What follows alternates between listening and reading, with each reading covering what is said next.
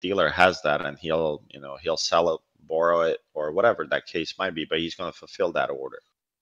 Uh, the way you look at the you know the way i look at the market is not necessarily is market overbought or or oversold right? I, I don't use such concepts and not a lot of people do in this room. Um, and i'm okay if you use rsi whatever you want to combine it with the more confluence you have but sometimes when you do too much uh, I think you can get the paralysis from analysis, right? Where you're looking, RSI is telling you one thing, MACD is telling you another, Ichimoku Cloud's telling this, and you're like, what the fuck's going on? I, I can't make two things together because one is telling me buy, the other one's telling me sell. Uh, honestly, the only thing that, that does matter is when you're in the market auction is the price being accepted or rejected, right? If people are accepting a price at a certain level and they're willing to pay that price, that means most likely the price is going to search higher, right? And if the price is being rejected, well, uh, we're not liking the price of a product at this level. Therefore, what is the price going to do? The price typically sells off in search of what? Buyers, right? You you have to bring the price of something so low uh, to to for the buyers to step in. And in the quizzes that you guys took, right? Some of you guys were, you know, why why does the price go higher? What does it search for? What does it? Why does the price auction higher? So it's Value? Looking for sellers. But To it shut off for sellers uh, to shut off the buying, right? You go higher to shut off the buying, right? You're looking for sellers where they're gonna sell and stop, right? And as the opposite is true as well. When you're selling, why do we sell off? To shut off the selling. Yeah, you. I mean, you're you're looking for somebody to come in and say, "Hey, this is a good price. We'll we'll go and buy it here." Yeah. And you know, there's different concepts that we're going to cover, right? Uh, you can't. Some people are like, "Oh, the market profile is the holy grail." Market profile is based on time, but then you have volume, right? I mean, we we covered multiple times. An auction without participants is not going to be a really healthy auction right? And that's your volume. Volume is your participants. How many participants do you have at these levels? Tells you uh, if they're you know if they're involved or not in, in in size. When you think about you know you know going back on 4140 level that we just recently hit, it was a big level. I mean, we we went to all time highs from it. we hit it, and there was a lot of orders sitting, and then people felt like right, whether it was a you know Christmas bonus rally for the big boys or not, they felt like they needed to buy and they just kept buying and we breached the all-time highs previously at 08 uh, and now we're kind of below it. And we haven't really seen a strong sell-off yet right? Just going back to the current market we haven't seen a lot of selling yet. This little pullback is you know maybe shake out some weak hands and then may, maybe they continue higher and then we can use whether price was accepted or rejected using higher time frames smaller time frames right? And we'll get into it but when the price is being accepted, for instance, if you look at the bottom left, you use the value areas of, of that breakout or the ranges to make sure that it's being respected. A range means just the high and the low, and the value area is the 68% of that volume of that range. Where is it? If you fall back inside of that, that means the price is not being accepted higher. Right? If you you know if you're accepting it, once you come to the retest like you see here, that means price is most likely going to be accepted to go higher and we're going to proceed. Rejection looks a little bit different. You crack inside and you're not able to auction higher than that level previously because the sellers are saying, hey, uh, the value here is not that good. So then you auction lower until you find value where the people are going to come in. And you guys experience this daily in your life. How many, how many of you back in, let's say, was it 2008 when the gas prices jumped to like five, eight, five, four to five bucks, sometimes eight in California. How many of you guys looked up to see where the cheapest gas was?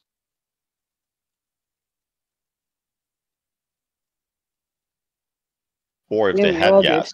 Well, everybody looks for something, and every day you guys look for something, right? Whether it's bread or whatever you're buying, right? You're looking, maybe you buy it at the same place, irrelevant of the price, because you like the person or people but sometimes people look for the deals they look and the, the price is out of the what you believe you should pay you're not going to buy it and that's how i look at the market it's whether price is being accepted or not right uh, when we bought when i you know initiated a long position in pfizer I posted on Twitter, and a lot of people are like, man, you need to see a green candle before you buy it. By the time they saw a green candle, I was up 13% on my position. and that's the opportunity part of the market, right? The opportunity comes if you're there, that's great. If you're not there, then you might have to wait for 13%, and then you're going to wait for a pullback, and then you're going to buy. But that's the different mentality of trading, right? That's his style, or whoever she commented on the post but it stuck to me. It's like, okay, so you're going to miss 13%, but the value was here at 25. But value for me might be different than value for Cuban. Maybe Pfizer is not good for, you know, Cuban. Maybe he's going to wait for 16. But what if 16 never hits? I think 25 was fair then. What is Cuban going to do then? Well, Cuban is either going to have, you know, an emotional buy where he's going to buy as part of the imbalance or he's going to sit wait until it hits 16.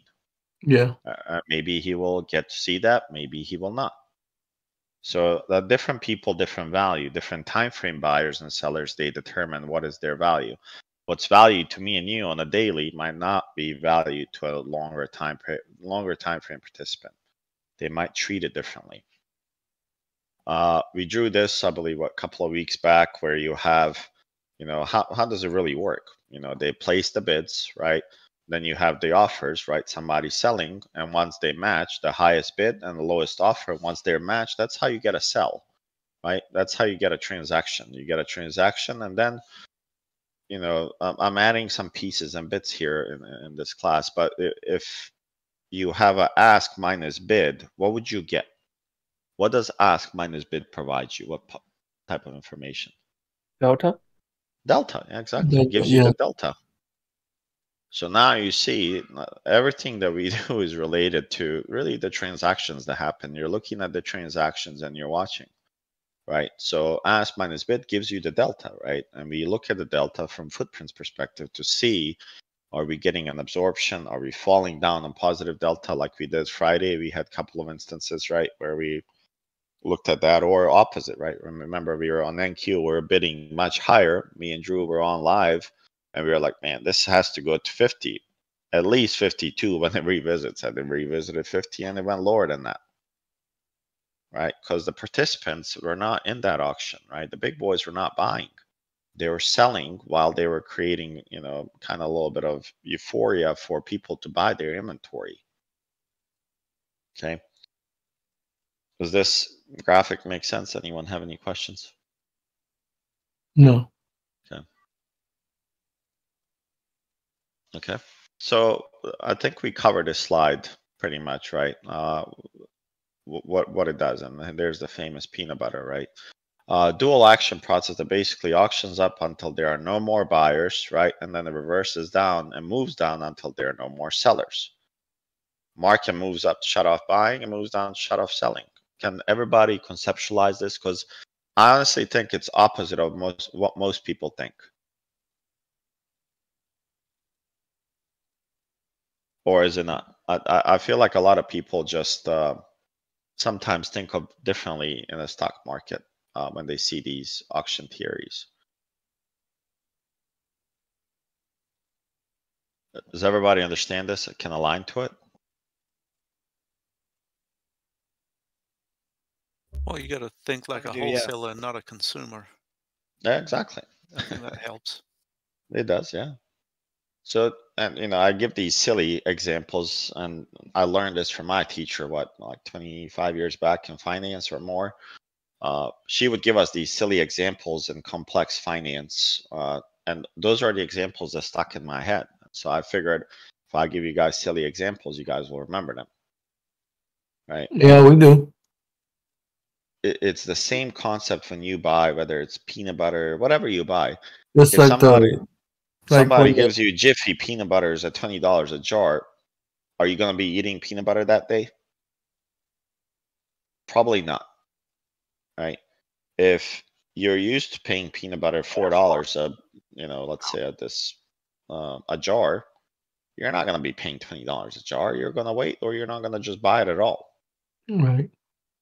And I've given you guys examples and scenarios, right? When I go to grocery stores, I take pictures. I don't know if you guys remember those. Uh, what was that fruit? Dragon fruit. Dragon fruits. When the COVID hit, it was two dollar two for eighteen. Jesus Christ. And my wife was pregnant, if you guys remember. She sent me fucking dragon fruits. I was like, you know what? I'm not buying dragon. I'm gonna tell her there's no dragon fruits.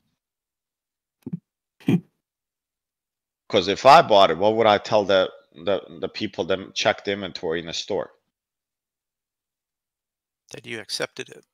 That I accepted the price they and I'm willing to to pay it at that eighteen price. dollars for two. So what does that do for a person that can't afford it? Price would It justifies the price. It's gonna stay there because there's a buyer at that price. It's the same thing that you guys experienced with the cars, right? I would say uh, there's a person in the Discord. I, I think he might have Acne Man. Remember him? Yeah. Well, he he was good with the cars, right? And he said that there was a Toyota Rav Four in California selling for ninety thousand dollars. And I'm like, what? A Toyota Rav Four, the little SUV that's like thirty five thousand. If there's a person willing to buy it, they're gonna keep selling it at that price. So me declining to purchase and not accept the price of those dragon fruits at 18, then I posted a picture a week later. th- those same dragon fruits were two for six. Okay, well, That's a big difference.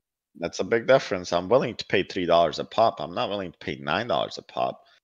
And when it comes to food, especially you know produce like that, it's perishable. right? So it's in their favor to try to sell at the highest price and then lower the price lower if you're in that business, right? They're gonna try to sell the apples at five dollars a pound, and as the days go lower, what do they do to the price? They have to lower it to entice you to buy the apples Yeah. because they go bad. They turn yellow. Unless they're sprayed with a bunch of shit, then they stay green forever. Okay. So the the idea is the market's gonna do that, right? They do that constantly. If you just go and look at the, you know, when we say market auction slowing down at the top, it's slowing down because there's not enough buyers willing to pay that, right? If we get new buyers and they let's say auction much higher than that, then your job is to wait for that level to come back to that level where they were and make sure that you're ready to buy along with them because they're going to protect that level, especially in the stock market, right? Yeah. Retest and then go higher with them. And that happens a lot. It's just the patience of humans is not there. Yeah. okay. Uh, so Shorty, market spend. uh, Mhm. Can I ask a question? Sure. So when they they saying uh, market moved up to shut up buying, is it shutting off like so thinking of a uh, price ladder, uh, aggressive buying or just uh, passive buying or both? All the buying, right?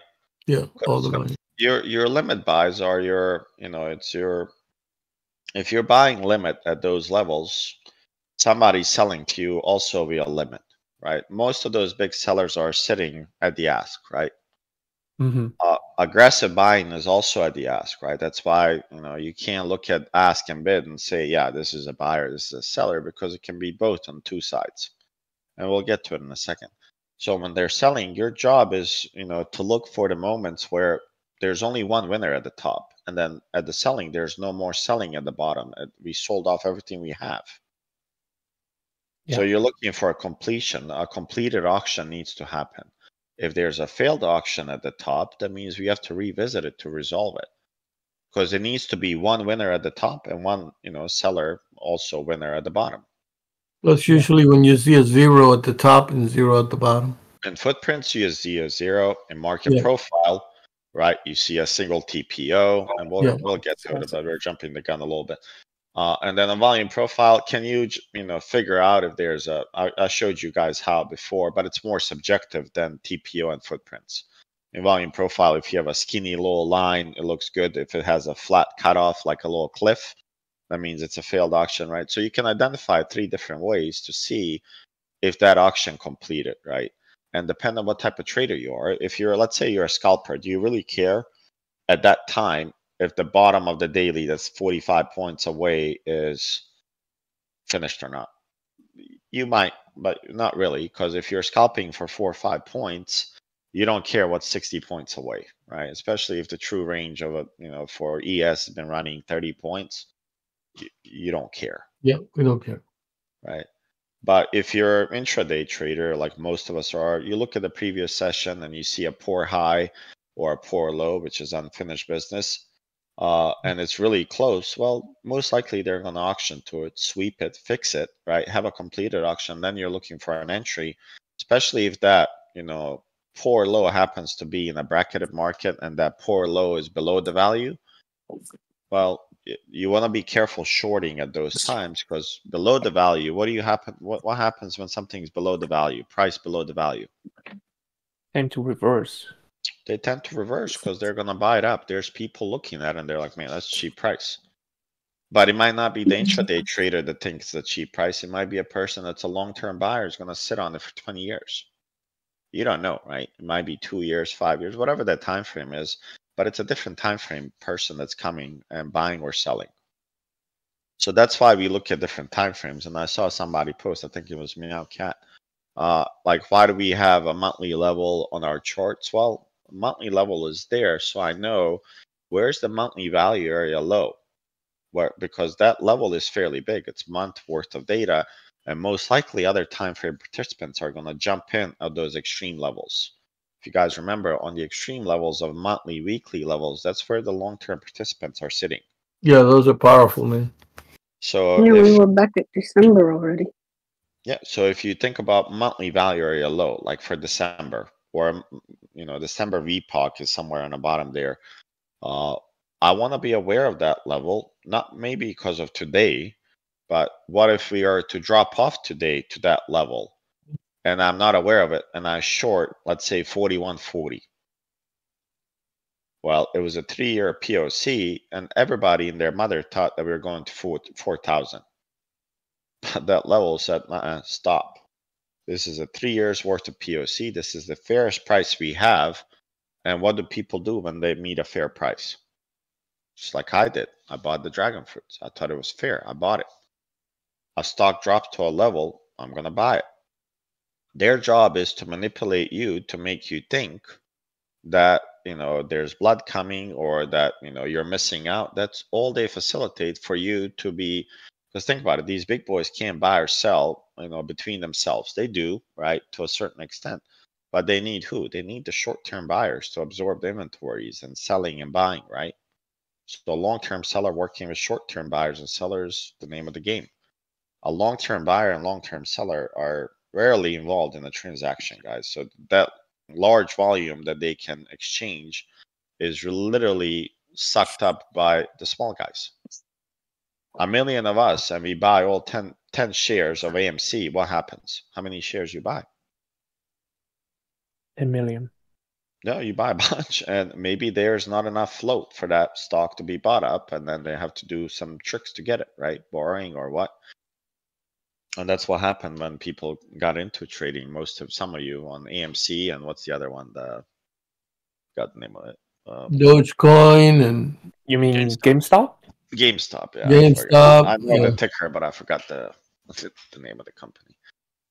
So, and you know that that euphoria, and I've seen people where like, man, I'm up seven hundred thousand dollars, but I won a million, and I'm like, what? You put in, you know, you put in twenty thousand dollars, and you're up a million, and you want you want more. And what do you think happened to those people? They're no wah, longer wah, wah, wah. I know a lady who was in that exact position. She wanted a million. She was up six hundred thousand, and she ended up closing oh, out losing two hundred thousand. Jesus. Absolutely stupid. I, I just don't know how do you live with yourself. Honestly, No, Greedy. that'd be very, very hard to live with, man. Oh my God. I mean that, that that can if you think I'm not trying to be a financial advisor, I'm not, right? But you take seven hundred thousand dollars and let's say you bought Pfizer at twenty five dollars, all of it. You're like, man, I'm putting all in Pfizer. You should do some math and see how much dividends you could collect every year. Probably about sixty five thousand dollars in dividends. You can live off of it, man. Oh, dude, you go to Cuba, you go to Colombia with sixty five thousand dollars, and you live like a lord. Are you kidding me? No, I'm being serious. I mean, it was No, I, I know. I'd, I'd send a family member 60 bucks, man, and they eat all month over there with that. Yeah. And most people don't understand that, right? And I'm not saying go go move, but you gotta appreciate until you move or see the country, Yep. right? Let's get back on track. Uh, questions. Check your knowledge. What are the two kinds of activity? And don't make me pick you guys out. I don't want Cuban and the regular Joe's answering. Meow cat, new people. Don't make me go to Discord, please. Pick up people. Okay, I'll do that. Guys are. Let's see. Let's see. Uh, let's see. Odds. What do you think? First Uh, question. Buy and sell. Anyone else? Okay, Cuban, you want to help?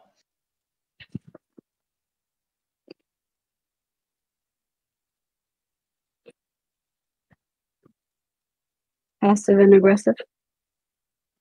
Okay. Anyone else? acceptance rejection Long term and short term. Long term and short term. That's correct, right? That, those are the type of two activity, right? You have Sorry, long- shorty, I had to go to bathroom, man.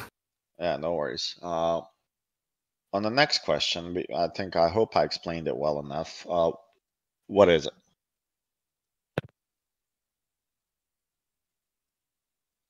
Shut off buying. Uh, shut off buying.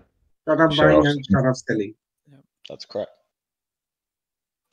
Market moves between what to what in order to facilitate trade. balance to imbalance That's correct. And how can we determine if it's long-term trader or short-term trader participating? Aggressive buying. Be careful. If it's a longer term uh, value area, if it's That's- breaching that's- those or hitting that's- those. That's totally one of them. Okay, When you're Anyone else? outside the when you're outside of the two x IB range, Let me uh, the, expand the the IB. larger the larger longer term buyers and sellers are step in. That's what causes those that. are very good points from all of you. So what does a long-term buyer or seller seek? Fair value, Ooh, careful. um, fair price. Unfair value. Unfair, yeah. Okay, I wanna say. Unfair, pri- unfair price, I should say. If I'm Apple and I wanna sell as much as I can on iPhone, I'm looking for news and frenzy where it makes it look like you can't get your hands on an iPhone. So I'm looking for advantageous price to sell to you. If I can sell it at sixteen hundred, you really right, for the best price, yeah. they don't care if you, if two people can't afford it. They care about the people that can't. And it's the same thing, you know, on buying. Right? I was actually trying to buy a pair of Adidas Predator shoes that just got released. I was actually in Europe and I missed it. They got sold off in 78 seconds. And then I went on eBay to look to see how much do you guys the shoes are selling for $400. How much do you guys think it is on eBay? A thousand? Five grand. Almost like What? Forty nine Five hundred grand? dollars. Five grand. Wow. Oh my gosh. So the opportunity was there, right? And there was people willing to buy at four hundred dollars, and they fucking bought them all. right? So long-time traders looking for, uh, They buy. fair, fair they always- Yeah, they always buy at you know they below they buy below the value, right? And they sell. Their job is to sell above the value to you and make you feel like that you need that. And the short-time traders looking for price within the Price. range, The short-term traders looking for fair a fair price price. within the range, yeah. And when the price is stuck in, you know, in a range, when it's stuck there, that's that's called a market auction. That's negotiating process. If you've ever been to a market, flea market, or I don't know where you live, like Boston, New York, if you go to those, or Philadelphia has a really good one. Uh, you go inside. Some people negotiate the price. This guy's like, I can do twenty dollars a pound for this, and this guy's like, man, can you do fifteen? The guy down there is selling fifteen you can experience this still, right? People are negotiating. Some people say it was haggling on the price, right?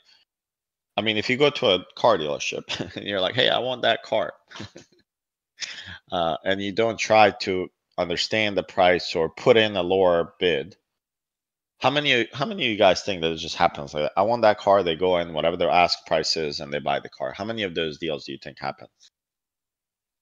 Way too many. They do happen, but do you think there's also a negotiation aspect where a person? Oh, yeah, like, for sure. Oh, Like, Always. Yeah, yeah, yeah, yeah, always. yeah. Yeah. yeah. And they try to sell you stuff. Of course. I mean, you now, you know, I go for oil change with my 4Runner. I go in there, and the first thing that I'm telling you, I'll record it next time. I come in, and a salesperson comes in. Hey, do you want to trade it in? And I'm like, yeah, of course. And they're like, oh man, I I see the excitement in his eyes. Like I I see it. and I'm like, okay, great. I was like, I'll take the Sequoia Pro, and it's priced at ninety thousand dollars, ninety to a hundred.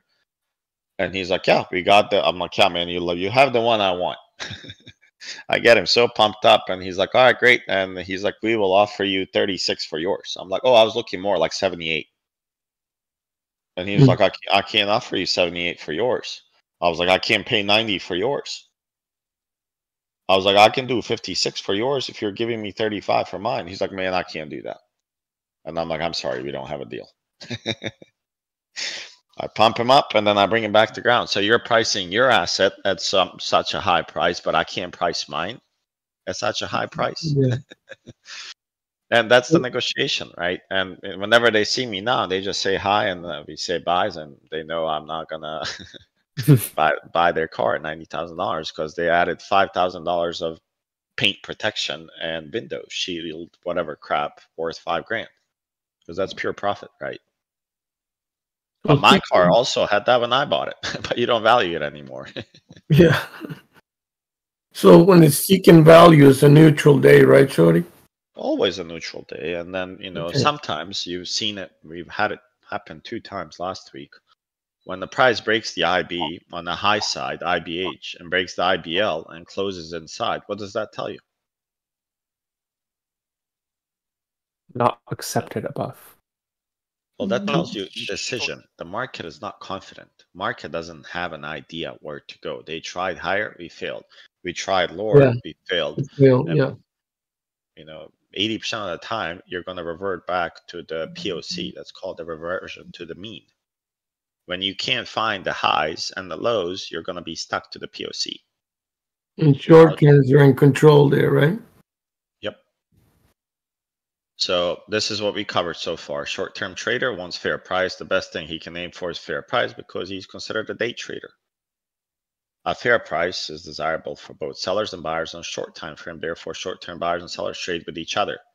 This is where you know a lot of times uh, I've heard you guys say when we're in a rights range. I think there's a few of you that are really good trading the range. I'm really good at trading the range as well. And the problem starts when uh, we break the range and you try to fade the, the breakout and you keep shorting. What happens then? Uh, keep getting You have a losing day. you have a really bad day and then you start doubting yourself emotionally and you're like okay but when you look at the market you're like okay well ooh market's telling me that we're accepting the prices higher and you know if you guys remember you know i i trade orbs. I traded orbs for a while. There's people on the floor uh that trade orbs using 30 seconds Wow. They, det- they determine the whole day based on 30 seconds open, 30 seconds that open, the high and the low of the 30 seconds. Yeah, I've heard of people in 30 seconds, one minute. Holy shit. When you say the floor, what do you mean on Oh, the like floor? the actual floor on, on New York. The trading floor. Oh, okay. Okay. And you know, when you think about ah, us, we're a short-term trader, but there's a lot of shorter time traders as well. Right. And those are participating just as we are in the brackets, right? They are they find a fair price and they trade in between. A long-term trader, I mean, and you can see, right? I won't cover too many, you know, anatomy of market profile, but when we see the single prints on the bottom or single prints on the top, that's another way to tell us, okay, somebody else entered into the market And then if you see single prints in the middle of the profile, that's also somebody that's fairly emotional and aggressive buying. And we pay attention to it, especially when it's, let's say, a double distribution day, when it's a long B, right? That's being separated by single prints. We pay attention to it because that's somebody else initiating acceptance in the, you know, the top distribution. Are those called the other time frame buyers or sellers? Yeah, exactly. Those are the people. Other time frame people stepped in and they drove the price between distributions from the bottom to the top or top to the bottom if it's bearish, right? And we had the scenario happen. We were trading live. Remember, I explained uh, if we crack below this level, we are most likely going here. Yeah. And they happen often. Okay. And just make sure you understand the bottom, the tip.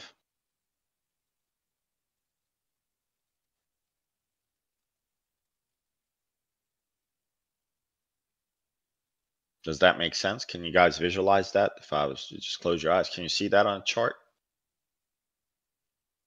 Yep. Uh, as a homework out of this, uh, the bottom tip, I suggest you guys go back and look at the last three weeks. And you should find that this occurs a lot. right? It, it happens a lot, and especially in the month of December, it happens a lot. Because, you know, long-term buyers, they either sell at those advantageous prices, right? And then we fall back inside, and the short-term traders take away and they trade their value. Okay, we'll skip this. We cover this. Uh, the components of market auction theory, I, I believe most of you should be familiar with this, right? Time, pri- time, price, and volume. Uh, price is used basically it's your discovery tool, and I think we can name thousands of examples on how you can use that. Time basically, you know, regulates the market. It's your opportunity.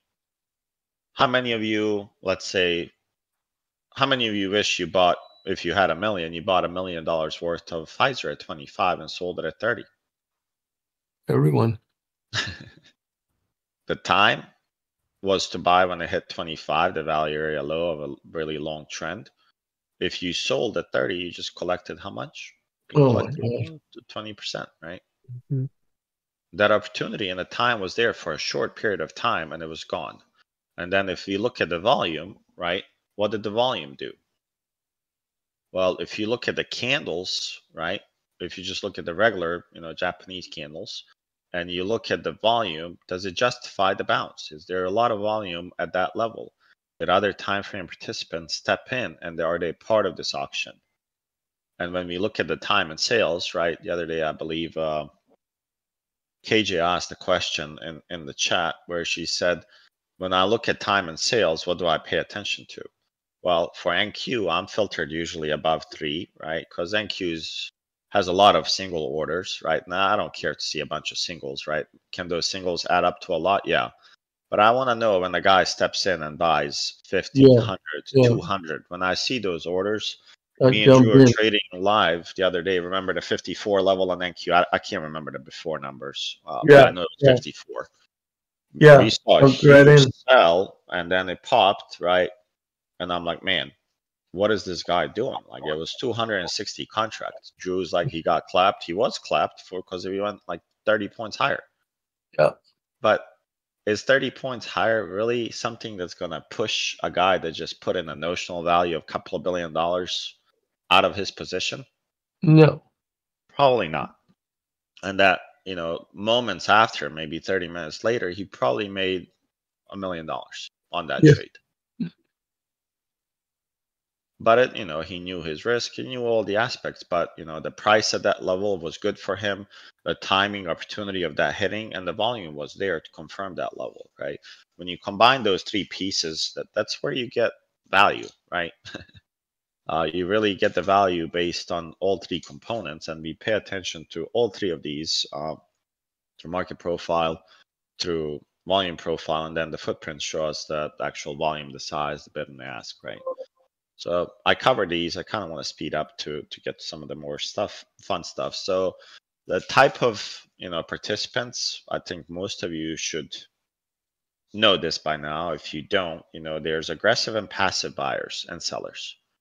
So a quiz would be on what side are aggressive buyers show up uh, on the on the DOM or let's say on the footprint chart. On the ask. Aggressive buyers on the right and aggressive sellers on the left. Okay, and where are the passive buyers showing up? Opposite of that. So passive buyers are on the ask. Is that correct? Yes. No, Passive that, that Buyers the on the on the bid, right? Buyers on the bid. I was just making sure everybody's on the same page. Passive buyers sit on the bid. Passive sellers sit on the ask. So you have aggressive buyers on the ask and passive sellers on the ask, and then you have passive buyers on the bid and aggressive sellers on the bid. Which Is the bid on the right or the no left? bids on the left. Left. Bids on the left. Okay, sorry. Sounds like you're dyslexic like me. Sorry. I think I'm like that too, man. Okay. No, I just want to. I ask opposite sometimes just to make sure you guys are okay. So this is like explain that one more time.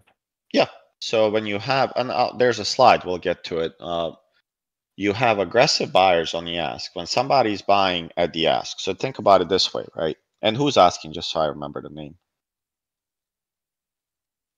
I am. Okay, trade.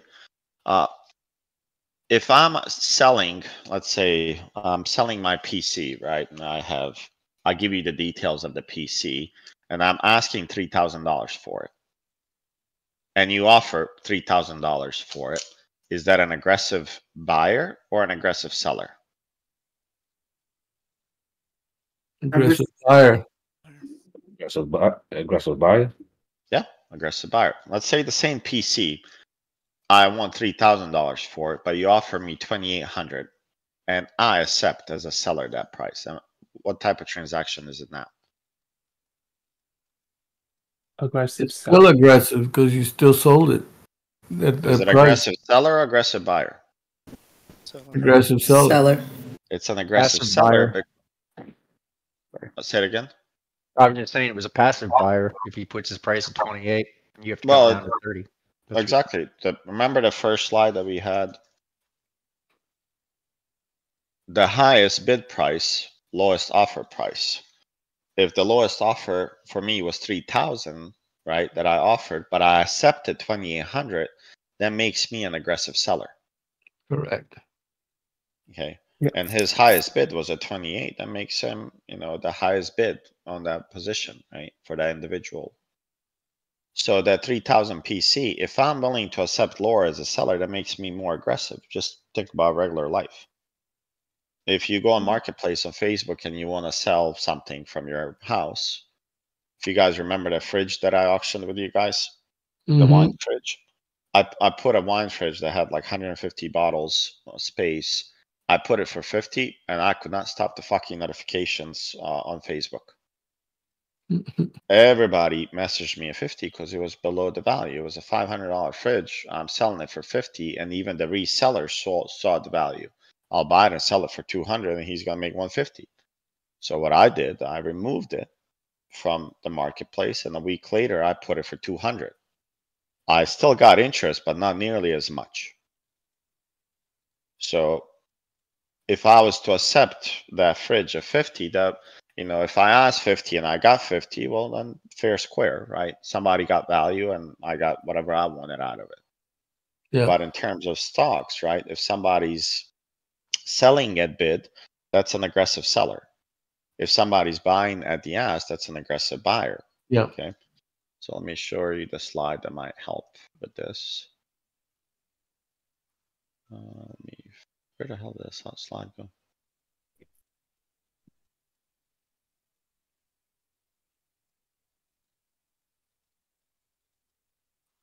Well, okay, here, here it goes. So do you guys remember this? Does this help traders? So now if you look, right, the left side's your bid, right? You can have an aggressive seller show up here and like on the bottom or on the top, you could have passive buyers show up. On the right side on the ask, you have passive sellers, right? I want 3000 for that PC. Until you reach that price, I'm not selling. But then you also have aggressive buyers that drive up the price to get there, right? If nvidia say i don't we no longer are going to produce these graphic cards and my pc has that graphic card that's in demand i potentially lift my ask from this price lift it higher and then you guys will have to chase and buy it And that happens a lot, right? The dual tape concept and people just lifting the offer. So you guys have to pay more for something. Does that, does this slide help? Yep. So now if you think about it, if only aggressive buyers showed up on the ask, if only everything that we see on the right side was aggressive buyer, how easy would this be? Oh I mean, man, honestly, the trading would be, it would be a piece of cake. yeah, we would be able to predict. You would see them, you would compare the price to the level, the volume, and you would be done. Yep. But even with this, we still have pretty good vision, right? When you compare, it's really the context of where the price is at that time. When you look at it, you're like, okay, well, you know, when that 54 order happened, we auctioned higher and then aggressively lower. So what do you think that guy did? or maybe it wasn't him. Maybe, you know, somebody misunderstood what he was doing and they started buying while while he was actually selling. Right? So on the bid, it's what you're willing to pay and ask what you want to sell it for. But also at bid, if I'm selling and accepting lower price, I'm gonna show up on the bid. Does that make sense? Mhm. On the on the tape, right? When you guys look at the actual, let's say L2 tape, right? On the aggressive buyer takes the liquidity from the ask. Does that make sense? Can everybody understand that comment? Yes. Yeah. And passive seller provides liquidity in the ask. This is free asking for her shoes $104. This is KJ asking for her shoes at 105 and she has 720 pairs, right? At 106, Cuban has 900 of something. These are people providing liquidity on the ask. They're passive sellers. Aggressive buyers takes up the liquidity on this side. Does that make sense? Yeah. Yes. and a passive buyer provides liquidity in the bid. If this product drops, uh, you know, let's say if these oranges drop to $92, I'm willing to buy 90 of them. So now it's up to the sellers. Where is it going to go? Are they willing to drop the price that low to get it? An aggressive seller takes liquidity from the bid. So if I have a lot of liquidity to sell and I'm willing to, let's say, sell 50 at 99, then the price drops to 99. And if nobody's offering 99 anymore, what happens? Well, the mm-hmm. price is going to keep dropping till a lot of these sellers are absorbed by the buyers. That's called absorption. And That- vice versa if the price is That's correct. And then if you think about this, for the price to move down one level, sellers must absorb 50 limit orders. So if we want the uh, the price to go down, these sellers might they have to absorb these buyers sitting there. Once they absorb them, the next one's a 98. And then the selling stops off, right? Where would the selling stop? How does the selling stop? When there's no When you go past there. 92. When the aggressive sellers on the bid are absorbed by the limit buyers on the bid. Yeah. And that's where you have typically a completed auction. Okay, does that, does that make sense that again, uh, Shorty? Again. So if I want to go down, if the price is to go from 100 to 99, these sellers must consume these 50 buyers at 99. Gotcha. Once they consume them, then the price is going to be 99 or low. Unless there's a market participant that comes in with market orders and starts absorbing the liquidity from these ask on the sell, sell side. These are sellers, these are buyers. Market people are not on the tape. Does everybody understand that? Yeah. But they're Yeah. on Yeah. the volume, right? They are on the volume, but not on the tape. Because we Right. don't know where they are, right? I mean, it's an emotional buy, I would say. I want it right now. Right? Uh, Right, right, right. if I want to buy right now, I'm not planning that buy. I, I'm planning to do it right now. Whatever that offer is, I'm gonna buy it now. I don't want to wait. market buy. Market buy does that, and they, they don't show up on here because we don't know what they want to do. Right. okay. I don't know. I put it all the way back. Okay. Let's see. We stopped here, right? So th- this is really important for you guys to understand when you're if you're trading value, right? I trade a lot of value and it's important you guys understand it. Responsive activity is effective behavior, right? When market breaks down below the value, buying is expected. When the market breaks above the value, selling is expected. And that's fairly simple, right? And when you combine this slide with the slide where we say, where do we open in relationship to the previous day? it, it starts clicking a puzzle on how you can trade some of this stuff. Initiation activity is unexpected, right? And this is where a lot of you guys suffer. And not that you suffer because you don't understand this bullet, is because the emotions take over your logical reasoning, uh, and and you guys do the opposite. Right? And that's what I mentioned earlier. When you have a range and the IB is being broken and you're still fading and shorting that move, that's when you get in trouble, right? When the markets break below the value, right? Selling is unexpected, but initiate initiative sellers step in and they they go aggressive. When market breaks above the value, buying is unexpected, right? Who buys above value? Long-term trader. It would be a long-term trader that perceives that value. No, well, not necessarily. You could have a long-term trader buying above value because he's not a day trader. Maybe he's looking for three years from now. Yeah, or other t- other time frame. Yeah, And that's why we have to use sometimes different time frames or levels to figure out who's engaged. Hmm. Okay.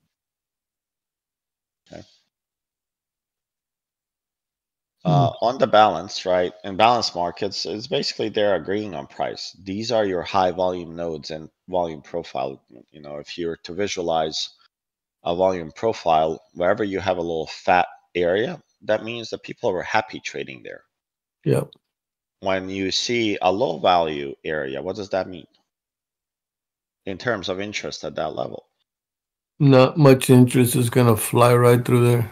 It's gonna fly, right? So usually low volume areas are imbalances, right? Those areas, you know, when you have a low volume area, right, uh, or an imbalance, sometimes when you guys go on the footprints, what do we look for on those imbalance candles?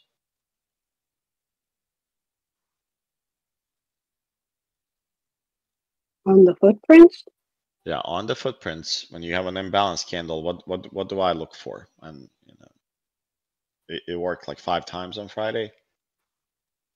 like high volume on either side of the candle. I look for the actual imbalance of orders on the footprint to see where did the imbalance happen. Where was that aggressive buyer that stepped in in the middle of that low volume node? Remember those stacked zones when it highlights three zones in a row on the footprint? Yeah, we usually get a yeah, we usually get a highlighted zone there. You get a highlighted zone, usually happens in an imbalance when you had a balance and it triggers an imbalance. And we wait for price to come back to those imbalance areas to go long or short, depending on how price went, whether it went up or down, right? And it actually happened multiple times Friday, and that, I would say it worked every time. Yeah.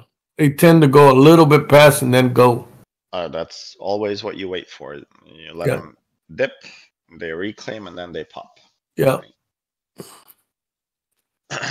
When, when you have an imbalanced market, buyers and sellers are not in agreement. That means they disagree, and whoever wherever the price is going, that's the aggression, right?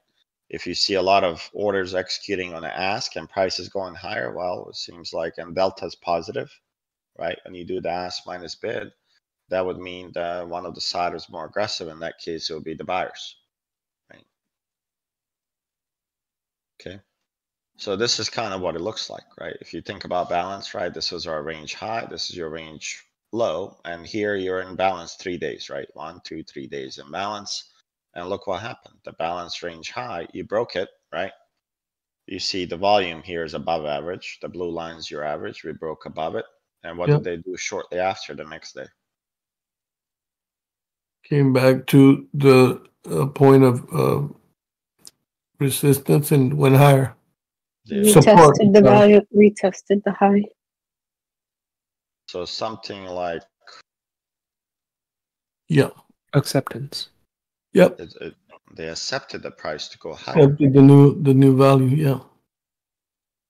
So when you think about this, if they accepted the price higher, honestly, if you come here and you, you know, here they didn't have a lot of volume at that time, but if you place an order here and you find a decent stop loss, let's say below the mid back of this candle or whatever that setup is that you're looking for, if you look at this, this is not a bad, you know, breakout. Some people wait for opportunity to buy on a breakout here, right? And that would have worked out.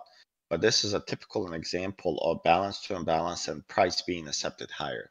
So it covers that slide that I just went back to pretty good. You're in balance, three day balance. You had, you know, your value area high was somewhere around here, probably value area low, a little bit higher. We reclaimed that, we popped higher, came back and retested them higher prices and over. Yeah. More buyers stepped in and they continued, more aggressive buyers stepped in and they continued. Okay. Any questions so far? So we, I would say with this, we concluded the market auction theory, uh, the, idea of how market operates. Is there any questions on this? Hey, hey, uh, Shorty, quick question on this one. So there, there was after the three days, the fourth day it broke out above the balance range high, right? Mhm. So would you say that acceptance is the next day after you retest that? Or would you say it is on the fourth day that there is acceptance? So the fourth day, they did not fall inside back the range. That telling me that there's buyers still, that they're still aggressive. And if Mhm. you're to look at this candle, it closed right at the POC of that day. It's a P-shaped volume profile. If this candle, let's say we went up and we auctioned and we fell back inside below these volume nodes, that would be concerning for that day to conclude what is the message, right? But they closed in the top of that candle, right, on top of the POC. Then they did a typical move. What they do is they go below, and on the P shapes, you're looking for high volume nodes to bounce, or they they can protect the low volume nodes. So if you look at this candle, I don't even know what Friday, October 6th, we could go back. You would most likely find that there was an imbalance, an aggressive buyer sitting here, and look what happened. They came back and they defended it. This is the day where they defended this position and the breakout of this range, and this is the acceptance for prices higher. Okay, gotcha. Here is another typical behavior, right? This would be a prior day high, and people would get in here on a breakout of this, right? And they gave them a breakout, but they also gave them a scare shortly after. Yeah, They started did. consolidating immediate, immediately right above it, right? And then they proceeded higher. They gave them a few traps where they put in a lower low, then they mm. put in a lower high, higher low. That's immediate consolidation. And then they gave them another trap with the lower low. So they shook out any weak buying here, right? Mm. That had closed stops. They took them out and then they ripped again. That's kind of how I would look at it. Okay. It's Yeah, much thanks. easier for me to buy and at this point, especially if there was an imbalance, than to buy here. I I don't know how to buy breakouts. That, that's just not. I don't know how to do it. I I can't click buy when they're breaking out because the price discovery mechanism. I, don't want to be the first one to buy this product at this price. Mm, Same as when it first broke out, right there before the retest, the long candle. Yeah, I mean, and you know, if you think about this, this one to me is much more probable breakout than this one. Does anyone know why? Between the two, why would I trust this one over that one? I think it's multiple day balance. That's one reason. What's the second reason? You popped up above the It's- single. Well, Volume. Volume. And look at the tail. And look at the tail. On the day of the breakout, you're also in a P shape, which tells me you did not want to spend any more time where? I don't in know. the value area. in the three day balance, you're done with it. You Yeah. came back to the bottom, you have single prints. I know maybe you can't see them, but you have single prints on the bottom. You're not spending much time at all here. You're in a rush. They're in a rush to get out of here. They got out of there. They confirmed. Yeah, that's very aggressive uh, buying there. Yep. And if you look at this lowercase b, is this a long B or a short B? Well, It's a short B. Lowercase b. It's a Oh. lowercase b and it's a, it's not an elongated profile. There's not a lot of liquidation happening at this point. Usually when you have a lower, like a lowercase b and it's compressed, those are used for traps. And same can be said when you have a P shape that's compressed, not elongated, those can be used as a trap for upsides. Okay. All right, well, the fun starts here, right? So if you're not familiar, is there anyone that, that's okay if you say yes, don't be afraid in this Discord or to say, has anyone ever not used volume profile? I am a very recent user of volume profile. Say it again.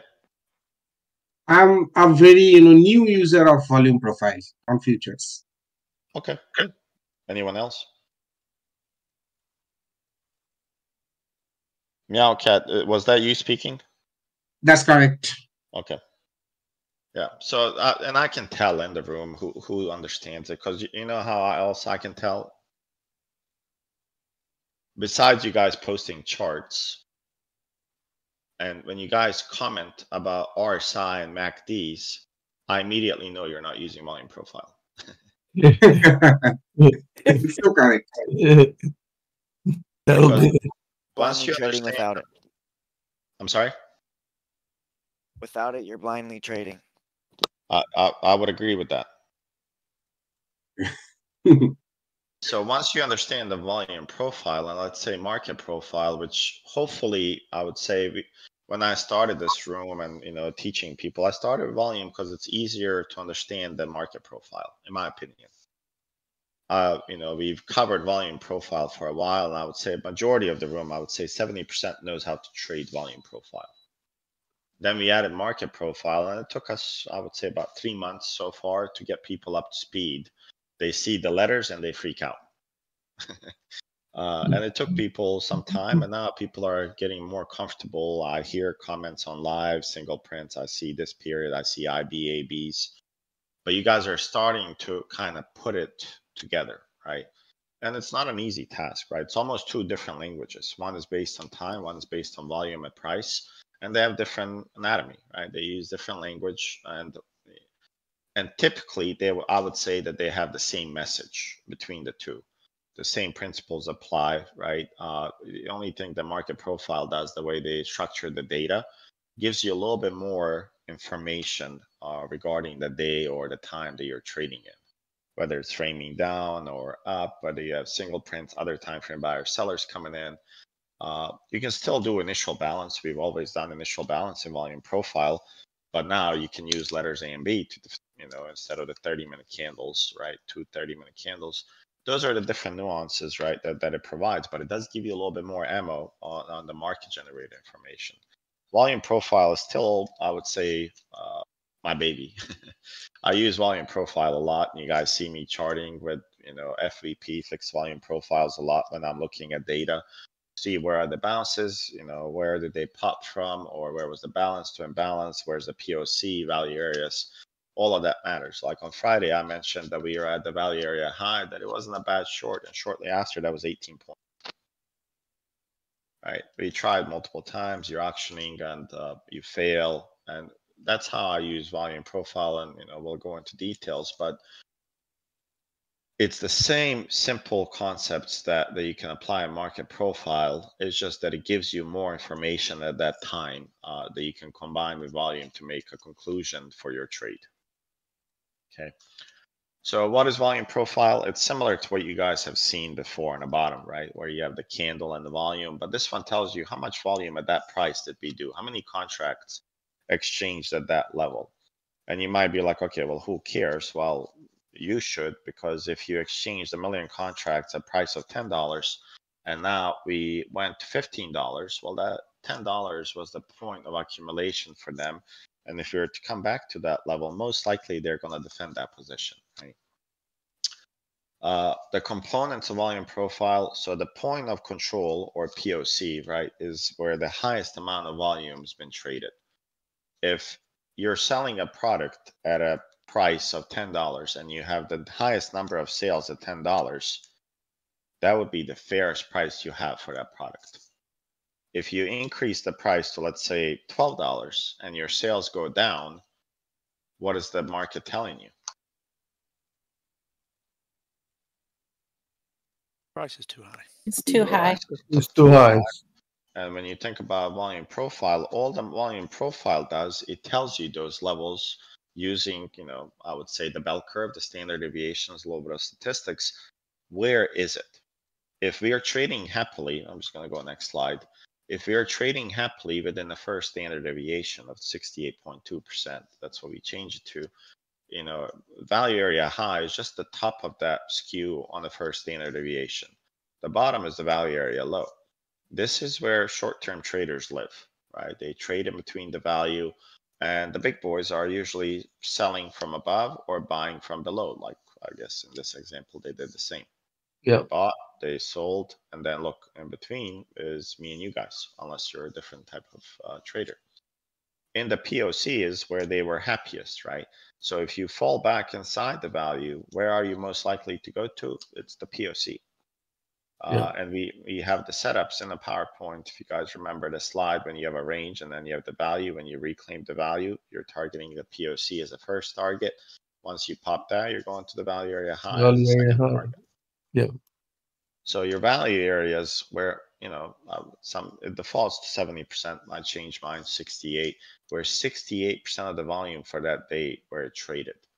It's important to know that because if sixty-eight percent of the volume is here, that means what? The other, what, thirty-two percent is above or below.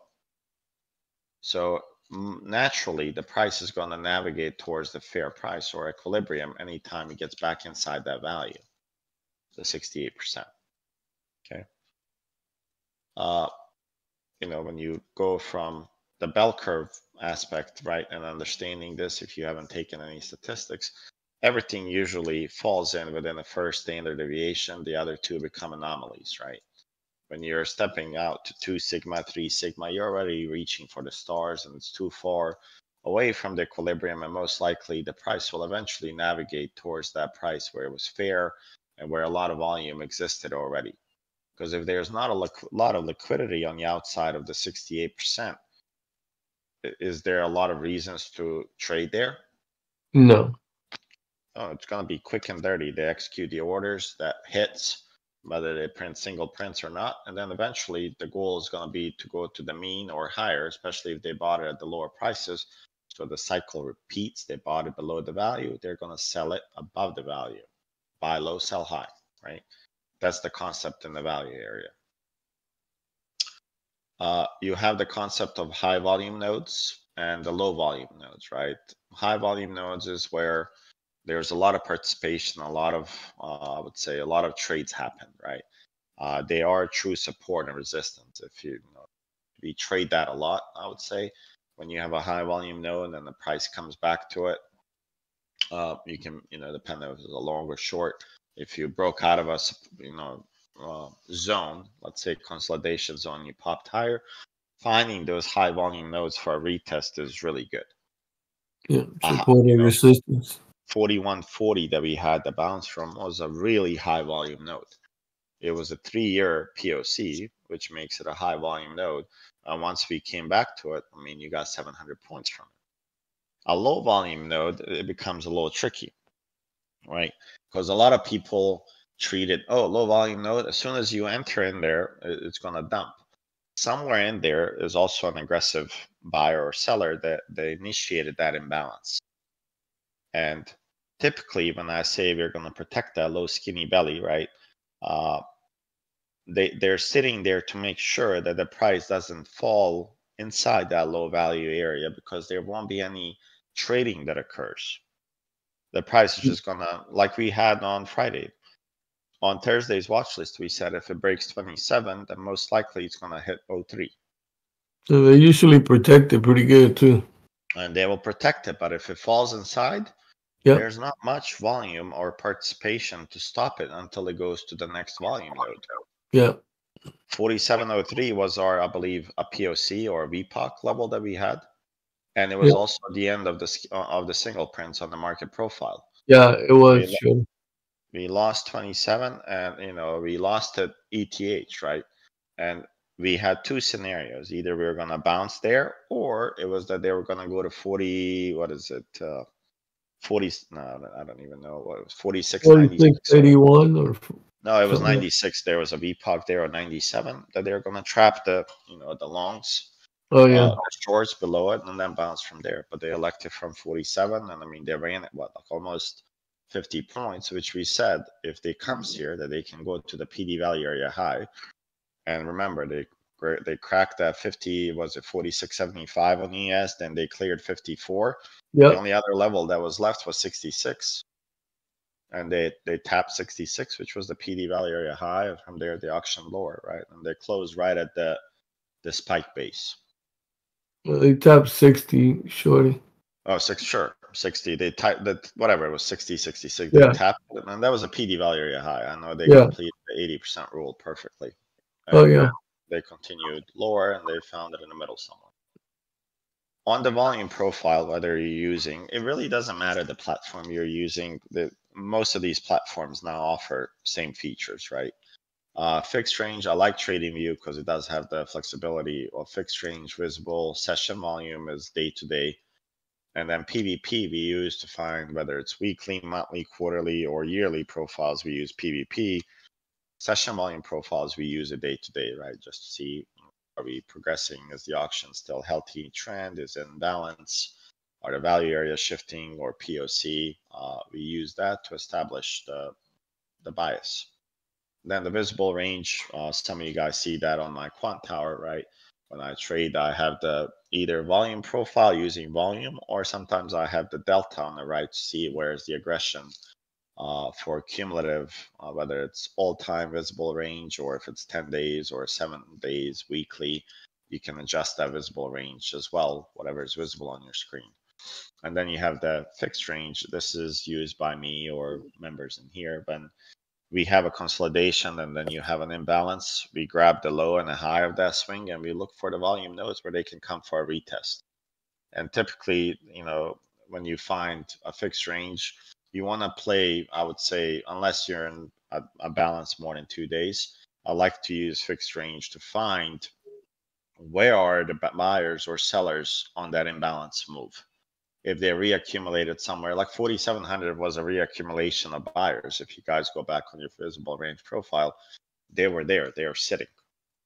And I'll stop here for a second and show you guys. Let's see.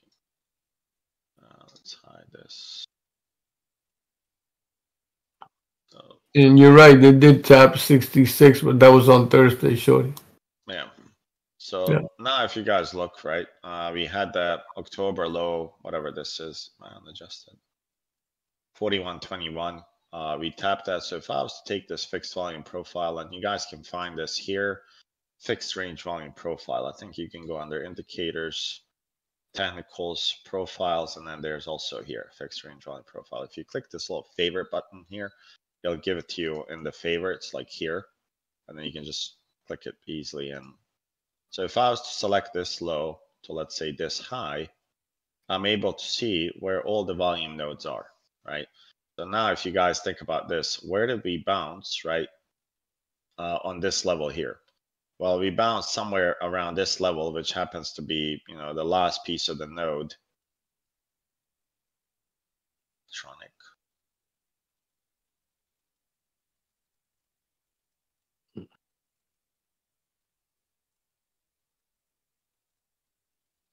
So if you look at this, there is a volume node that that's stopping there. And then look at this one here. This was a tiny one on the 4700.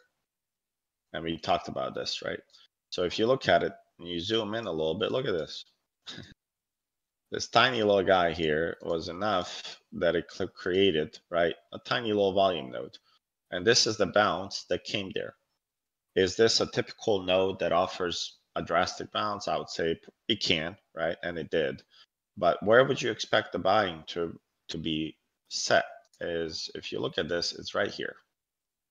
If we were to come to this level, 4564, and I typically look at these high volume nodes and I kind of scan, okay, well, where is the area where they can go? And this would be something that I look for. So now, if we are to lose this 4700, what would I expect? I would expect us to go to 4564. A lot of people that are afraid to short here, where is the retail most likely going to short? At the bottom one. Yeah, are 45 64 level. they're gonna come here and they're gonna start shorting right here. And typically, this is where I start Buying. buying. Yeah, because that's retest. As they're selling here, I'm gonna buy, and the people that shorted here are most likely gonna cover at this point. Yep. right? As they're covering, that means you're covering to buy. So hmm. they're helping with the delta positivity. They're buying. The dealers also here are selling to the buyers, and these people that are, you know, short selling, they will you want to sell, sure, sell. But majority are gonna buy to defend the position from here because this is our balance. Market goes from balance to markup to another balance, so whether it's a reversal or a continuation, right? And you can look at that on daily, right? And you would see it pretty nicely.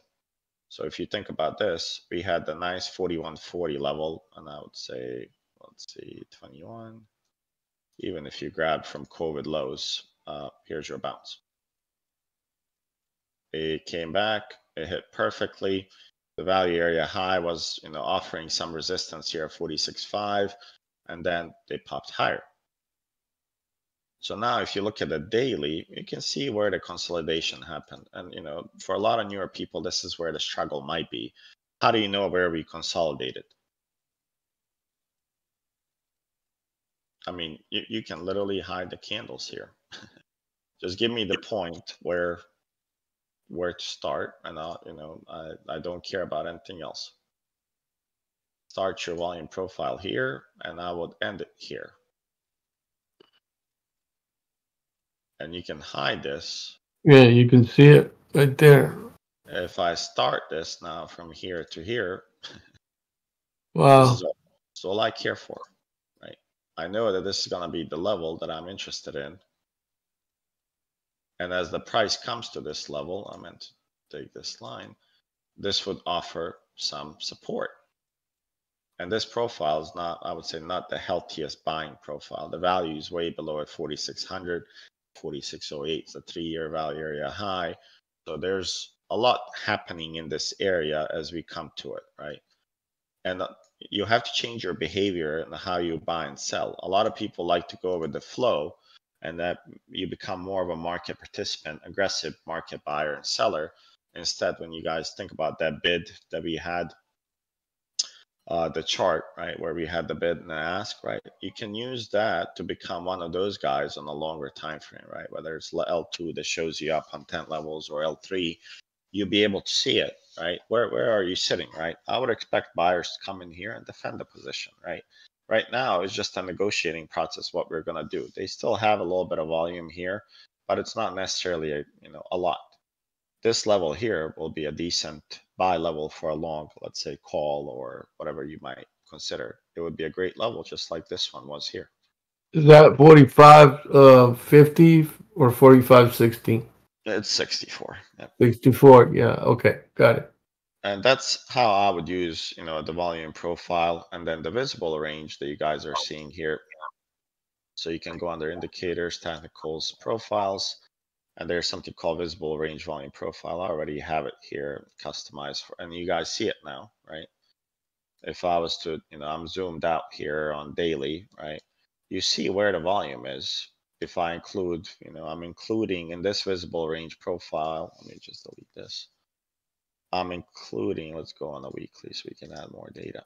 So right now I'm including data all the way from December 17th. And this thing Wow. on the right, if you guys can see it, is producing volume profile based on what's on the screen. And you see Mm. now, you know, the POC in this case, the mean, the fair price is sitting at 2,700. Uh, so at, at this point, if you're a bull, you would be a new bull, right? You would be considered new money and you need to kind of defend these levels. This, you know, ever since we left here in March 20th, right, we haven't really been back to this level here. And then when you go 2008 to now, you're sitting at 1300 and we haven't been to that mean ever since. Mm-hmm. Okay. And some people say, well, consolidations can't happen long periods. Well, sure. Like if you look at this data, for instance, right here, this is where we consolidated for a very long period of time. If this was the consolidation of, you know, from ninety-seven all the way to here, maybe this is the result. Right? Can this not be the markup? Well, Yeah. if this is the markup, and now we are sitting right here, Yep. and Doing it again. we accepted the prices, let's say we didn't accept the prices higher here.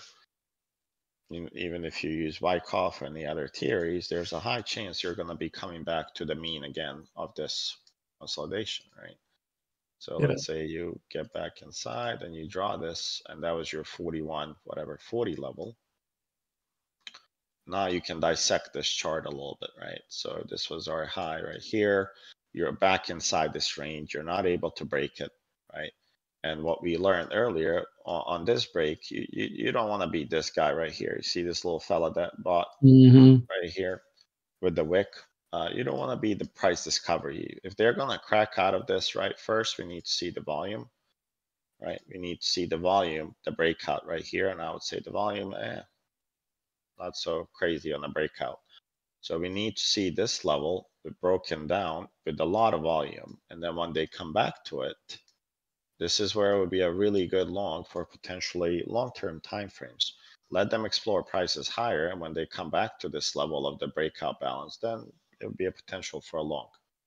But now, on a long time frame, when I analyze this, right, this is my value area high, this is my value area low, I would say, what, three years or so? If you're able to, if you were to lose this forty-six, let's say fourteen, if that's the level here. Let me make sure. Yep, somewhere around that. I thought it was forty-six oh eight. Yeah, that sounds much better. If you're to lose this level. Let's say you get back inside, the principle of volume profile would say what? You gonna visit the park at least? Mm-hmm. If you are not accepting the prices to be higher. Where do the advantages, where do the long-term people buy it? At the point of control? There's a point of control, which is our first target, right? If you're That's short, very you wanna be short below forty-six oh six. Called eighty percent rule, and you can trim your position at POC, you wanna close it here. If we are to come back here, right, to the value area low, you would have buyers here. There will be instant buyers here, and if these prices were, let's say, to go lower here. And they crack below this range low that was set here, then they reclaim it. Oh my god, this can quickly. Go to all-time highs. And that happens a lot, and it happens on five minutes, and it happens on every different time frame that you guys potentially trade on. Right, so if you think about it. Uh, if this was our range, let's say you see this low here, uh, I think this was the open, no. Let's say this low here that was set, you guys see it? They came back here to the low. And then what did they do to the poor people that shorted? Did they crack this low? Did They make a lower low? Yeah. Trap. Put in a lower low? Trap shorters. They trapped all the shorts and then they popped immediately. And I would say if you were to grab this area here, they went right to the POC of that sell off there. And just so you know, I- I, I don't, I don't ever count this level as a single level. This would be something that I would do all the time. And it typically is a couple of points, right? Left or right. And you see here, they came I would say few points away from that level that we had. And that's just using, I guess, uh, five minute candles here. And here's your POC and look, they came very close to that level for potential sell off, right? So where's the open? Let me go to RTH. I don't mess with this.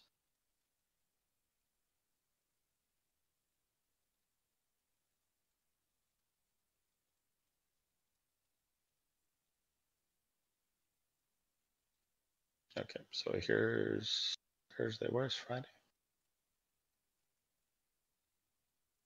Why is it not giving me a damn line on Friday?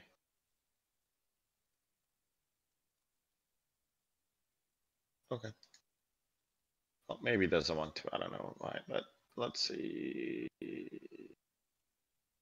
Friday open is, well, I guess that's it. About five minutes. So this is where we opened, right? And this was our open low here.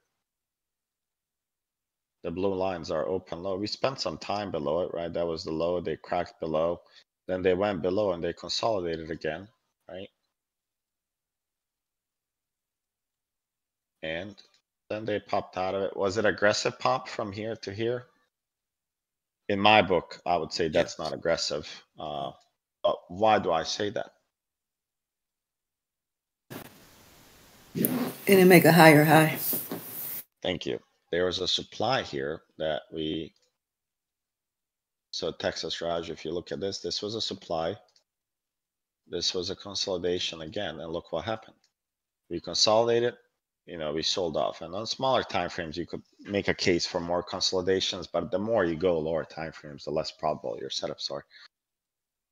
so in five minutes, you consolidated, you sold off. So if I was to look at this sell-off candle from the top, let's say to the to this candle here, where's the POC? Is it right here? Where did we sell off again?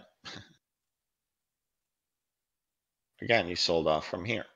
And then similar concept, right? If you were to grab this to here, and there goes that POC. I think that's the one we had earlier. You came very close, right? You would draw a little box around. And is anyone challenged when I say draw a box around this?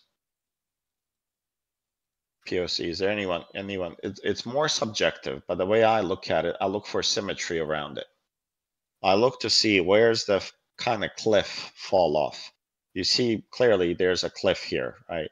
Shift in Yeah. volume. Yeah, when you draw the box, it's easier to see. And when I do this, to me, I look, you know, it's, you know, two and a half above, two and a half below. I look for symmetry and that, I don't know, to me, the brain just does it automatically. I, I don't really think about it that much. And now this will be the zone I have to reclaim, right? So if I was to draw an FVP on the day, on Friday, right? Now you see the liquidity areas of the volume. I see that there's a high volume node here, right? There's one on the top where we spent quite a bit of time in volume. Then there's the POC. We went inside for the day. Now think about this in terms of value and price. Who cares about buying and selling? Think about the value.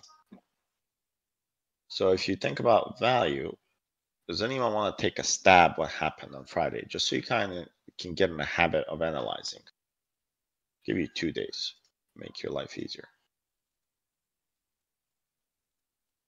Okay, let me make sure that this is not extended. Does anyone want to, I'll help you. If you get stuck, I'll help you here. Two days, who wants to analyze?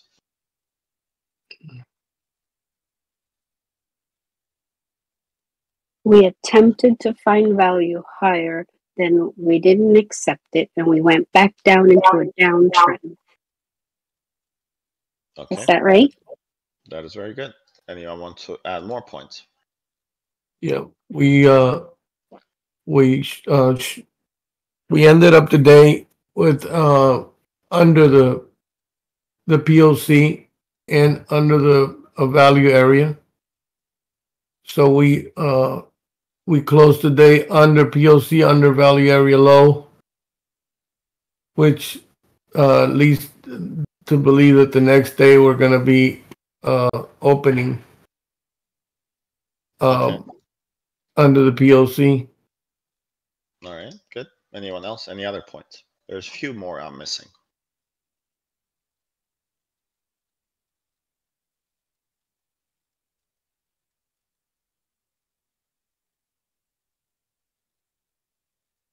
Anyone else? Don't make me pick on people. You know, we spiked there at the, not spike, but, uh, Uh, Don't To worry the- about spikes. Just worry about what you're seeing, value and profile. okay. We're in a downtrend. Okay. Is the POC shifting down? POC and value area highs are clearly shifting down. They had an overlap between Wednesday and Thursday. That's correct. Then this is where I pay attention a lot to the volume nodes, right? So that's why, you know, when I put this stuff in here, they, they have a meaning to why, right?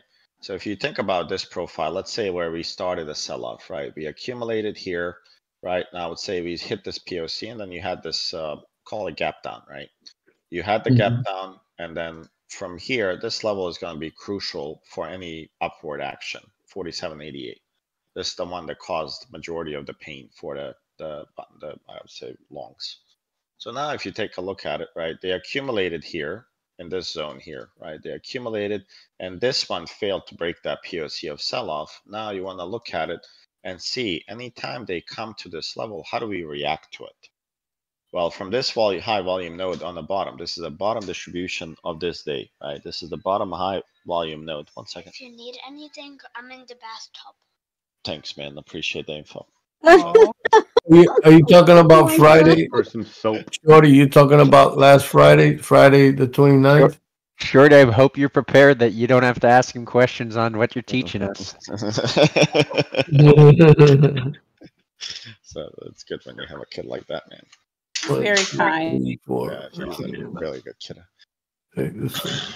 So now, if you look at the distributions, right, and it, it- you have to pay attention to the high volume nodes and how we are reacting to them. So if you mm-hmm. look here, we bounce from here, and we, you know, somebody mentioned earlier, we failed to clear higher high. In this case, we failed. Then they gap down. And look now, the same high volume node here. We came for the retest the next day. We failed. Then you mm-hmm. had this day produced a high volume node, right? I would say somewhere. I'm just gonna highlight it, maybe different color, so you can hear orange. And look what happened on this. I would say double distribution day. Uh, you had one, you had two. They closed. Where did they close? They closed way below the POC. They came back to this double distribution. They they reclaimed the POC, went higher, and then they went above, and then they failed. This is not a bad short. Nine out of ten times it's gonna pay when you have a double distribution like day like this. They accepted the price, but they accepted it also below this distribution of this day. Right? They went lower to that. And then if you think about this, if this was our value area low, what is this Wednesday? For Wednesday, the value area low, they came back and they're like, oh man, we, we do find some value here. They found the value here, they popped it, but then they lost it. They came back to it. But what happened then? They extended that value. They extended the value lower. Why do we go lower? Mm, Let's fix that poor structure. Why, why do we, why do we keep selling? We keep More selling. sellers than be- shut buyers. off sellers. Because we There's no value at the top. Well, there's no, no, value, shut but up sellers. you want to shut off the sellers, guys. Yeah. Very first thing I mentioned here. You have to go back to it. You're selling to shut off the selling. You want to find buyers. So now we had some buyers, and I would say we are familiar with this 27 level just because the homework we did prior. This was what level here? On Thursday, what was it? PDL. Sh- Sure. It was a PDL, Previous week, value area low. It was previous week value area low, but it also happened to be that there were single prints involved uh, on TPO. So we are aware of the levels. The key levels were identified. They came back. We established this, right? And then during the RTH session here on Friday, like they cracked the 27, and then we had, I think it was 03 that we had. No, two. I think we were here. somewhere. yeah 02 Let's just draw a level here.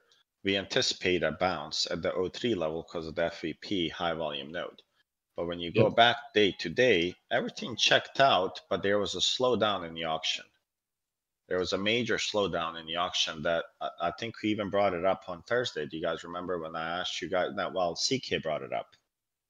Remember, he said that there's a slowing down in the auction. I'm not sure if CK is on, but we said, hey, the value area lows and highs are shifting, but then it started kind of over. Yeah, I remember that.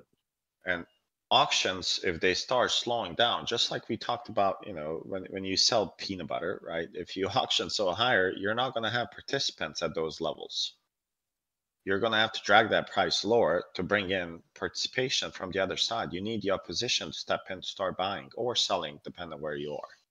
And in this case, this is a clear sign. Whenever you see values overlapping, PO, POC is getting tighter. And before, I don't know if you guys remember, at one point, uh, I actually, oh, this, I thought it was, a, oh, I thought it was SVP for a second.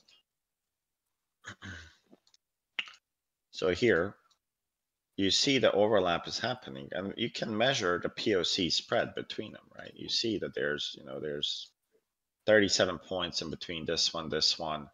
It's slowing down a little bit. And then you see here, not much, right?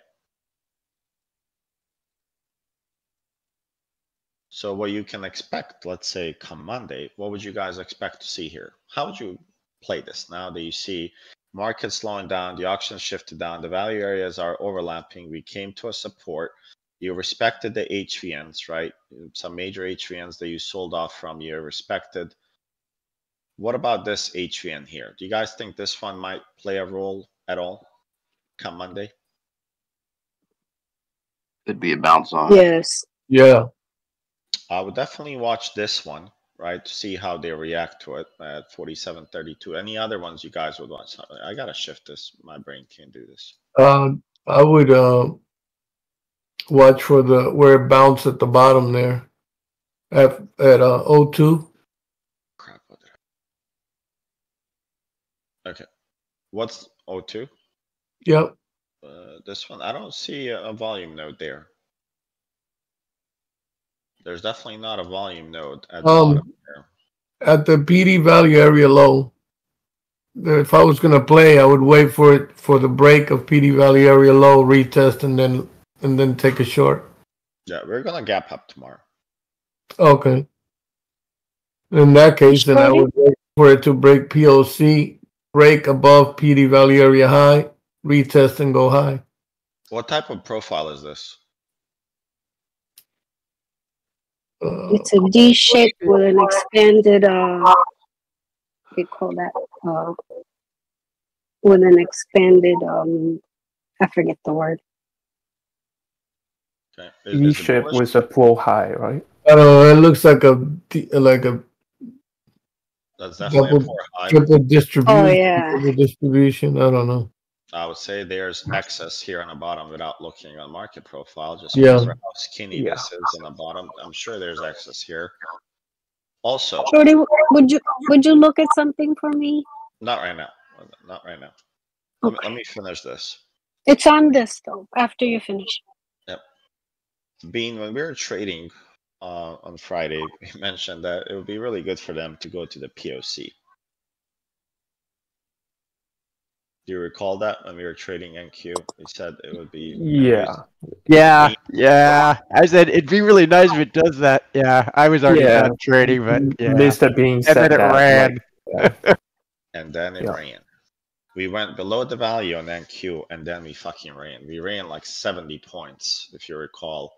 And Bean was like, well, maybe maybe they will do it. well, little did, did he say that they came back here, right? And you look at the price action, 930, we put in a higher low inside the value area. If you're putting in the higher low inside the value area low, what does that tells you in terms of price and acceptance of that price? I'm not letting it drop to a certain level and I'm already buying. He's You wanna higher. That means there's a little bit of more, The wicks we had on the five minute was ridiculous. Oh, yeah, on the five was- minute candles, you had two nice long See? wicks. Yeah, right here. Yep. And we were long somewhere around here. I forgot the level where we were long, but we were long at some point here. Regardless, it, it's telling you if this is our value area low, and typically on 30 minutes, it's going to give you a more accurate level, and it's not coming close to it, and then they start buying to the reversion to the mean. What does that tell you in terms of value and participation of buyers? Means they want it. Starting, right? They starting want to go back up. and Yeah. they want it now. so on, on Monday, when you look at this, and we're on ETH here on volume profile, on market profile, we use RTH.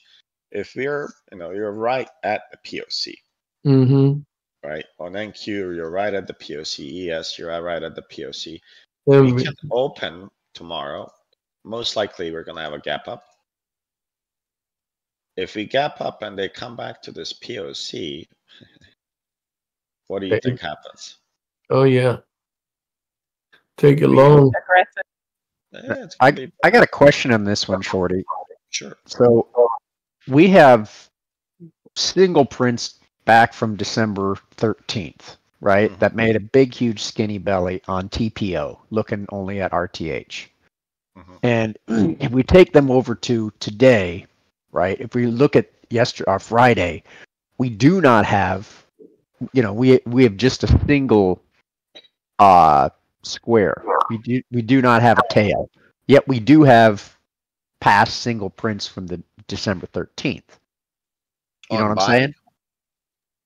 Yeah, uh, it- That's what I was yeah, say. on the bottom. zoom On the bottom, you- we don't have we don't have a nice long tail unless you're looking at what we're picking up from December 13th. And I guess what I'm trying to ask is that 13th in TPOs still hold weight? I would say yes. Yes. Without- That's what I was without gonna say. looking Zoom out. Hold We're at a huge support level. Where if you zoom out, there we go. That's what I was trying to say. See which ones are you after.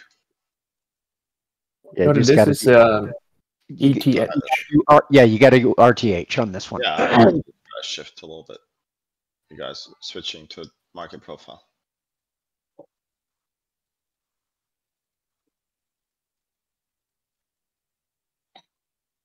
Let it load. Give it a second.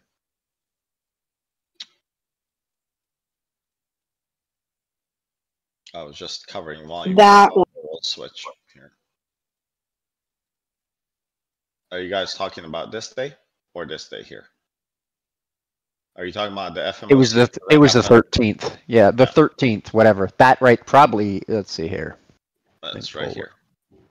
Your single prints are here and then obviously all the way to the bottom here. Yeah. Okay. And look But where then you are. yesterday's was oh, this was actually in the middle when you're looking at RTH. You had a CP, you had a POC below it, so it was actually not a tail. Uh, for me, it's Yes. I'm talking December 13th. RTH on N, on ES. Oh, I'm sorry. I'm on NQ, man. You're, you're Sorry. Yeah, yeah. Sorry. Yeah, you're, you're sending me a bunch of curveballs now. Hold on. Gotta watch out for Mr. Bean. I see that. All right, let's see if it refreshed. 13 is, this is the 13th right here. Okay. This was the ahead. Repoc. Right. So above it, you see all the green single prints you got up there? Yep. That huge band there. Now you've used some of those up. So if I, if you highlight that zone or whatever, Yep, then we go over to the right. and we go over to the right. We still got a whole bunch of that left below, but you only have a single. I'm only showing like a single. uh What, where do you have it now? I'm sorry. Where? We have a bunch of it unused. Where is it? I would say it goes all the way down as low as seven, 4708, 75. I- I'm not following. We cleaned up all of this in ETH. Okay, that was my question because you, I thought we looked for only for RTH. So No, ETH we we, do take. the, yeah, so look at this now. Just go back. No, no, no. I understand. Yeah. We trade. If I look at if I look at what we did after hours, but I wasn't sure with TPO if we're just supposed to be looking at at I, I typically look at the cash session, but it's a little bit subjective, right? When you have, you know, when you have the Globex, right? I don't use for TPO. I don't use Globex because the liquidity uh, is just not there. But when you look at this candle here that came in, You do you categorize that as being cleaned up. That that's what I was. That was the thing. I wasn't sure if that would be categorized or not. here's your volume bar for this session right here at 8:30, and I look Mhm. at the volume for the remainder of that Globex. hmm That's Yeah. 10 times more volume. Yeah. Yeah, we had a lot Easy of volume 10 there. times. And then I look at, you know, I just have to look at, you know, just subjectively. You look at this candle here, and the rule that I mentioned to you guys is the wick to the body, and you play that. And what happened here? Stopping volume. Stopping volume. Wow. This fella did not. he was not interested, guys, in in price going below his buying at all. the price came here, and I, I have struggled with this little thing here on the right. And now you see here, wick to the body, and look where it came. He's like, oh no, we don't want that. And then they bounce right higher. So yes, if that answers your question, it's subjective. If this volume here, let's say this volume was like this volume here, yeah, I wouldn't care for it. But you know, these people are experts. They came in at 8:30 when you guys can't trade the options. Yeah. And they did it perfectly at 4,700, and then they ran it, you know, 50 points, 60 points, right? Right, and then they closed wherever they closed. So now, if we look at this from a standpoint of ETH, we've got a nice little tail on this day. But if I go RTH, we don't. That's correct. I would still consider the ETH positioning on it just because we saw them drive. Yeah, because of the volume that came through. Okay. Yeah. All right. Cool. Thank you. He came in closer to the open than it did. Like if it was a midnight guy, it seems like somebody from Burnside World is buying or selling. Yeah, Burnside. Yeah. Always my fault. Yeah. Never Burnside is all your fault. This We was would- definitely we- somebody from Europe doing I would have got away with it if it weren't for you metal. Damn it, man. Not even Cubans for Very that. They make I don't want my charts look like dumpsties with fucking colorful parrots. Okay. So now that we shifted to market profile, let me go back a little bit to volume profile. Uh, hopefully that answered a question for two of you at least. Um, the SVP. On SVP, I definitely look at, you know, for that reason, I look at SVP. Now I guess you answered this. Why do I look at ETH on volume profile? Because of people like him. Does that make sense? Just because hmm. it, it's not RTH, but he he handed out quite a bit of volume here, and he created a node. Yeah. Yeah. He created a value node right here, and that's exactly where 330 they came back and bounced it and spiked it back inside to POC.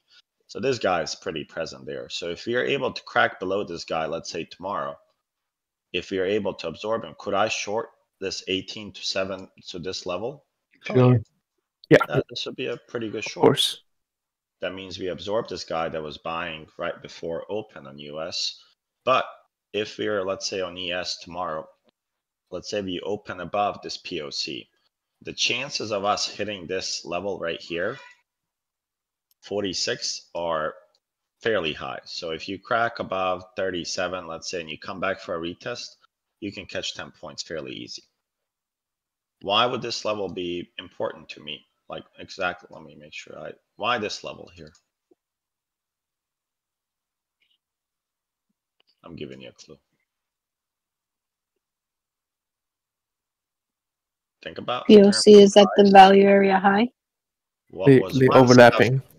What what was once value area low became the next day's fair price. What was that day's fair price became the extreme value area high. High. Right, right, right. Does that make crack sense? that, you, yeah, yeah, that would be a break of structure. I mean, a change of character. Character. Yeah, so if you're able to, let's say you crack this level here of 46, you know, the next level most likely you're headed to, just look at the, you know, look at what the chart's telling you. You have the The top- POC at 54, which I would be aware of, right? And then you look at the value area highs. So you had the value area, it wasn't really respected here, what was it, 57? Then you have somewhere around, can't see these damn levels too well, uh, 64. That would be the targets that you're playing. So now if I'm looking just trading volume profile, I, personally to me, this gives me a clear picture. If it doesn't, that's this is where you guys ask questions. So we we cannot afford to lose. I would say my initial long would be I wouldn't wait for this level to hit again. Why not? Why would I expect buyers to show up at this zone first? Because pre-market, you had such a volume coming in, it looks like they're changing direction Okay, good. Anyone based on that spike. And also, it's a high volume node, right? The Higher Okay, good. What about like, I know you guys like trend lines. What about higher low? If I was to bounce here, that would be what? I would break this Oh, trend line. break I would create lines. fear on people, right? Then people will start shorting. Can they do still break this trend line and do this bounce? Yep. This would be a Yep. really good trap. They would trap the people here, but this node here, I promised you, is gonna play a big role tomorrow, right here. in the Yeah, middle, yeah. 24 and a half. Yeah. They're gonna Yeah. most likely, if they auction pre-market 24 and a half, let's say today, tonight at six, I would expect them to come back here and guess I will be, I will be there. They might overlap a little bit and then go higher. Yeah, they're gonna hit this level here. If they're to come back to test this level again, Mhm. and they come in with force, I would not trust this level as much as I would trust this one to buy. Of course, yeah. I want the eager buyer, just like they were here, to buy sooner. I don't want them to wait for this guy here, because this guy showed up once already. Yeah, if they go down there, they, they might go lower. They're gonna crack it. They're gonna search for value lower, and that's okay if Yeah. they search, but I, I would prefer them to hold this. Sure. Right now, they're just creating liquidity for the move. And for me, the auction's slowing down. Just like when, you know, when we were looking at this move, mm. I issued a warning in the room that auction was slowing down here. And I also mentioned that the same exact move happened last time when we were at all-time highs because of the December value. Okay. On the, on the daily, we had also oh, hit the oh. clouds and the bottom of the cloud that we had broken through the top all the way to the bottom of the cloud of the week daily, and uh, we had gotten a full send up on the 30 minute, I think. Shorty, can you, can you switch to NQ? I think it looks pretty much the same, but to make It sure. does. Yep. It does, right? Uh, what did I do here? There it goes.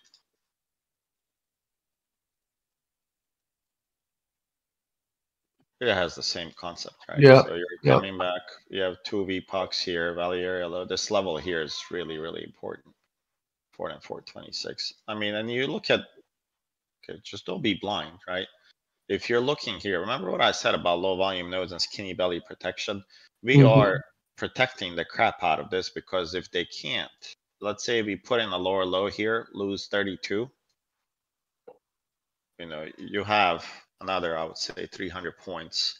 I would definitely not short anywhere near here. Oh, yeah, if you lose the PDL, yeah. Yeah, if you lose this PDL, guys, there's a quick drop and they could have some massive news come out here within the next few days. Uh, their job is to get you out of the positions and get you to, you know, feel something. You can go from there to December value area low and, and nothing. And now you look, and if you do the same thing we did on ES, if you're a NQ trader, let me let me go on eight hours just to get a little bit less candles. From thirty-three to eighty-three. If you go here, and I just go to this high here, look. For this run up here that we had, the, the POC sitting somewhere around, what is this? Seventy-four, I think I change these colors a little bit. So you have this here, and then the volume node really starts somewhere around here. What is this? Uh, can't tell, one eighteen. So you're gonna slow down a little bit up here, and I wouldn't be shocked, let's say, by Tuesday, that we have this drop, and then the rest of the week, we have a really good recovery, right? So that was just, you know, looking on, basically on the FVP, and then we use previous levels, right? Like what we did, talked about in the PowerPoint, right?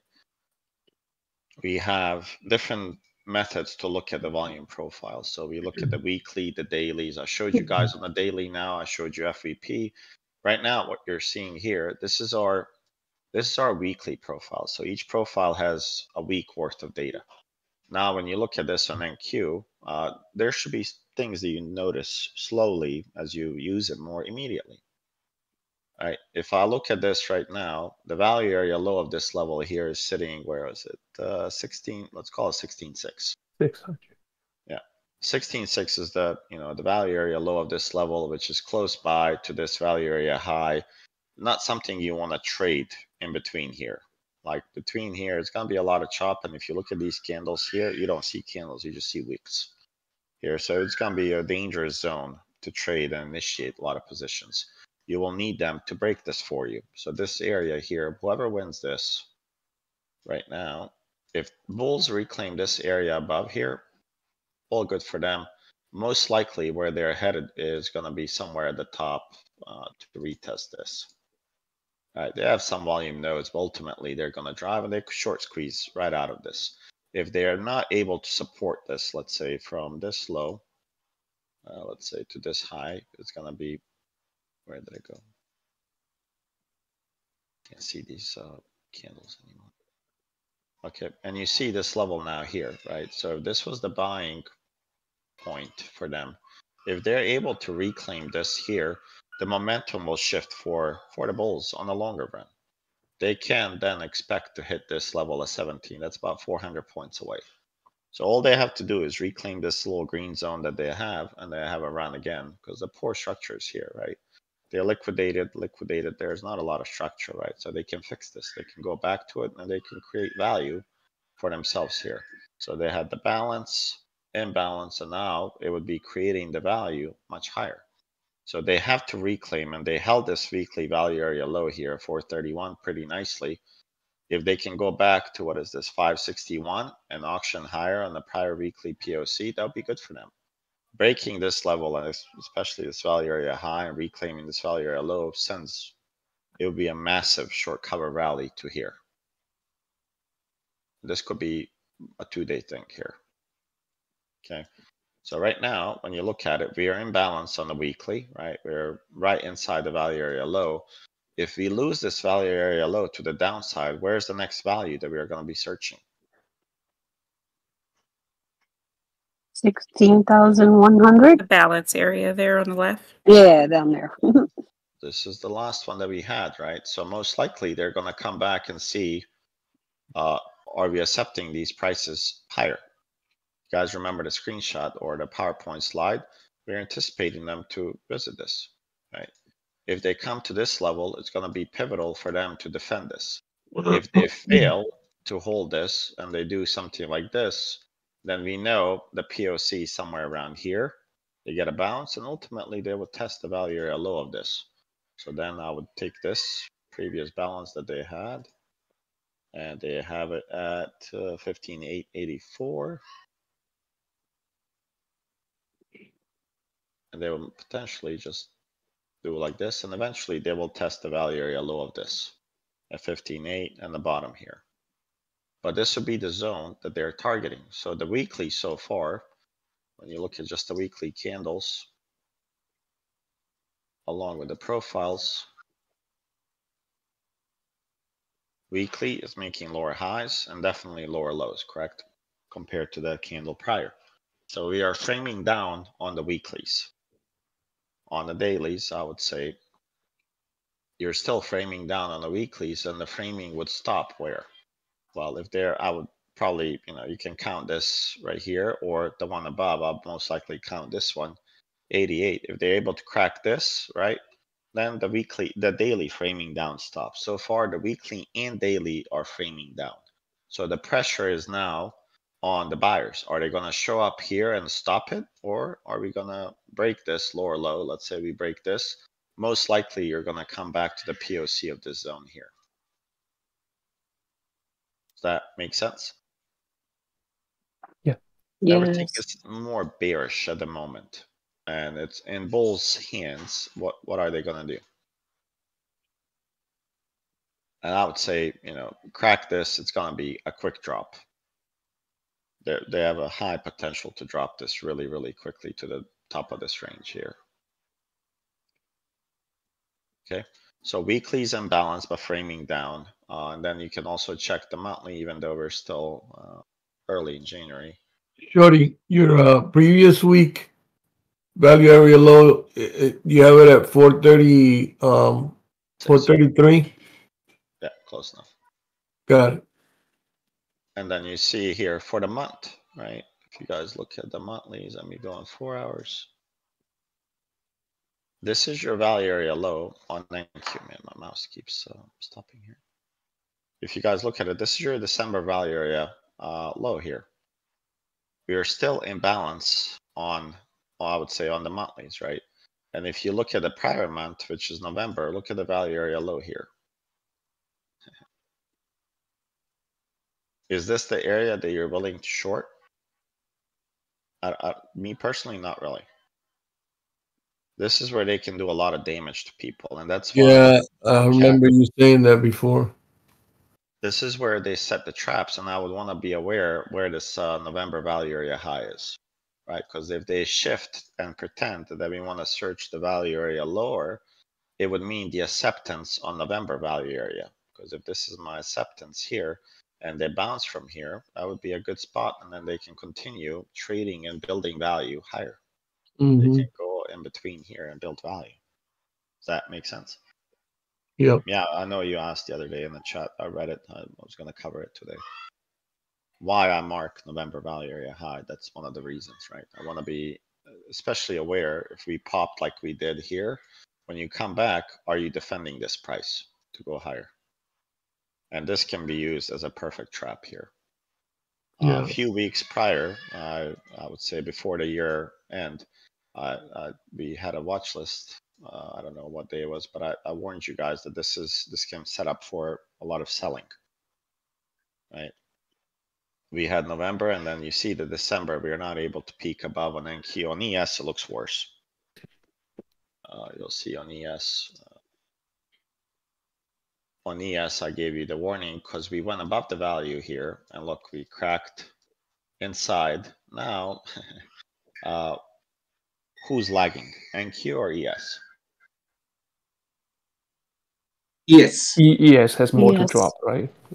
ES can go to Yeah, here, which would be 45, 68. And if you go on NQ, so ES has, let's measure it, right? It has another 132 points, another 3% to go. On NQ, NQ can drop to this level here. And it could offer a bounce. If NQ decides to break this November value area high, look where it would match. A three percent drop of NQ is two point seven four here. Would be another three percent on each would be pretty good. Would be good for the bulls, and they could cause some major pain for late bears to come in. Okay, so this is just analyzing on on the longer time frames on volume profile, and this would be a really big level here your November POC matching with with December VPOC here becomes a really good target, right? And now, you know, we drew the FVP earlier here, and you see that that level is it's going to be very important because once they lose this, then you're targeting somewhere at 4,200 uh, to be the retest. Okay, this was our, if you guys remember, the May consolidation we had. Is everybody following so far? Shorty, you have uh, March puts, right, on the SPYs? Mm-hmm. Is your target that 45, 60 area? Right here. Okay. Because if they do that, you think about this. Let's just do the same thing. I would, if they're to execute this, let's say in January, you're telling me you would get a decent drop from my puts in the direction that we have three months on. A three percent move to the POC of four fifty four would be four dollars out of the money. So that would be pretty good for the puts. Yep. That's the idea behind it. Uh, I would, I would definitely close it all here. Does that make sense? Yep. Thanks. Mm-hmm. Okay, so that's volume profiles, the three pieces uh, that we had, right? Uh, so let's see, we covered this. Uh, let's see. This one we covered. So standard deviations and sigmas, right? You probably have seen me post this, uh, whether on Twitter or even in the chat, right? And the knowledge seekers use them religiously, right? And I would say a lot of you guys use it here. So when you think about it, you can apply this anytime you have more than two days of consolidation. You can apply the sigmas. It works really well on the longer periods, right? So if you guys think about this uh, on the longer picture here, this is where you know your range is right now. So if you think about this chart right here, the blue lines is your range. You see the bottom, you broke in, you came back and tested this, which happens to be, I would say, roughly 2%. This run up here. Yeah. Right at 50%, they bounced right here. So now we created a range and then the idea is if you're not making higher highs, that you're going to consolidate and build value here for the next move, whatever that is. So if this is the range here, this is where you enter this, I can grab the FVP from here and here, right? And now I'm able to know where's my first standard deviation. The first standard deviation is nothing more than just the first value area, 68%. So this would be my first sig uh, right here. This would be my second sig. I'm sorry, first sig on the bottom skew. Uh, so now I have the first sigs identified. If I want to change this, I can double click on this and change what value area. Where would this one be? 95. 95. Yeah, the, you know, the second sigma would be 68 plus 13.6 plus 13.6, which is 27.2. You would add it and you would get 95. So if I change this to 95, the value area is going to shift now and I'll make it easier for you guys. Let's see, does it draw lines? No. Oh, it's these lines. So now you're able to see what? This is our Second first- sig. This is our second standard Second deviation. sig. Yeah. And why why do we draw it? Why why does it matter where the second sig is, first sig?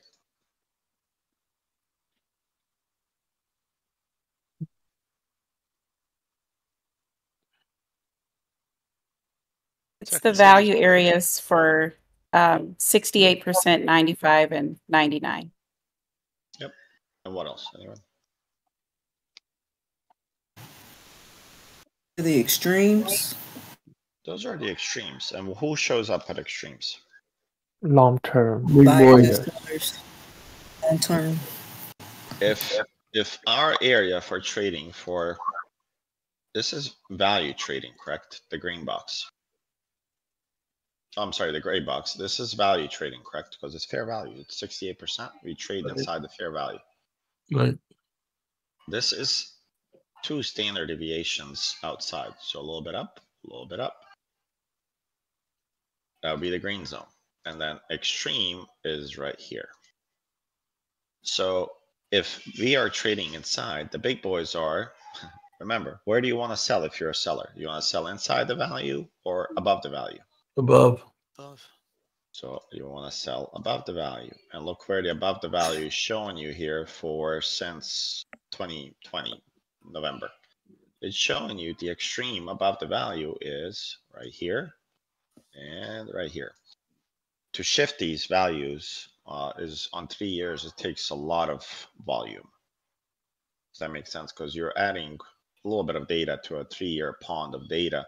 To shift it, you know, it's pretty heavy. Yeah. So this here is pretty, I would say, pretty important levels in terms of bigger levels and your bias on highest levels. So now this would be our cumulative POC or CPOC or a mean or whatever you want to call it. So now if you're to fall back below this level on three years worth of data, can't read this. Uh, 458.91. If you're to lose that level, there's levels you could identify to know what are the potential levels for a bounce. Can I expect us to visit 412? Yes. Of course. Would I be naive to believe that there's not going to be a single bounce in between that? Yeah. Right. I can look at the rest of the body of this, right? And I can know that there's going to be a bounce at 436. right? If we lose 458, most likely it goes to 436. You lose this. Uh, high probability that this would happen here. If you lose this, this happens. Really high probability. that, You're going to You see Yeah. skinny Yeah. belly below, right? You lose this. We know for a fact you're hitting 392 because that's the Yep. lower first sig. Once you establish, let's say sellers come in, and initiative sellers step in here, and they lose this level, yep, go to who showed up floor. on these levels here was the responsible sellers. Yeah, Shorty, Right. I've been expecting um us to stay in this giant balance until election. I think we visit um bottom of balance before election. I, I think so too. I mean, because yeah, I, I don't I don't try to bring in politics, but you know, Right, people have to look good. It's just an important, you know, election. Correct. Honestly, it's And Uh, they're gonna do what they have to do to make sure whatever is the agenda, right? And I'm not, I don't care which way they go, right? Uh, as long as I can day to day understand what's happening, I can make money. I don't care. mhm. But the idea is, right? You have the election year, and you know Taiwan has an election year, and also they have ships right now in tai- Taiwan area. Remember, I said Q1 something big has to happen in that area because of the elections. and them So a lot comes into play, right? them uh, long term swings can pay. Exactly. Yeah. So if you look here, every time we approach two, three sigma, that's where you're going to have these long-term buyers and sellers because the price is advantageous to them. Whether it's fairly above the value, the 68% it is, but it's in the two, three sigma, this is where they're mostly taking their profits and closing their longs. At the bottom, they're buying it because there's a high potential for reversion to the mean. Okay. If they're able to break those means, let's say two, three with volume, that would mean that the revert, I'm sorry, the initiation of these guys is fairly strong and that they're gonna expect to proceed in the direction that they're going. So I'm looking for a slide. It's this one here.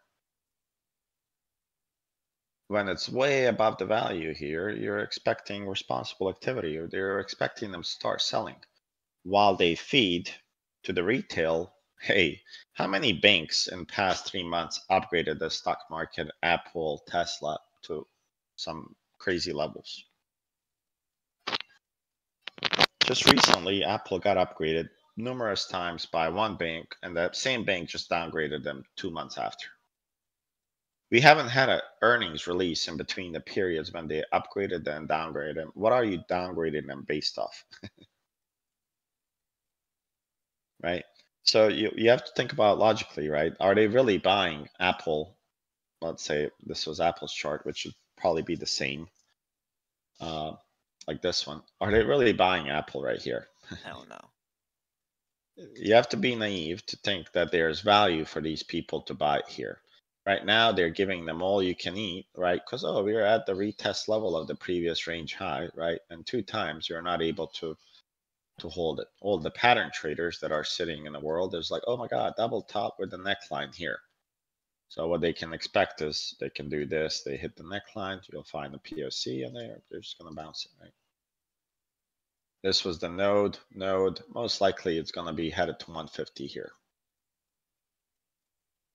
And I would expect a decent bounce there, right? And the cycle just repeats.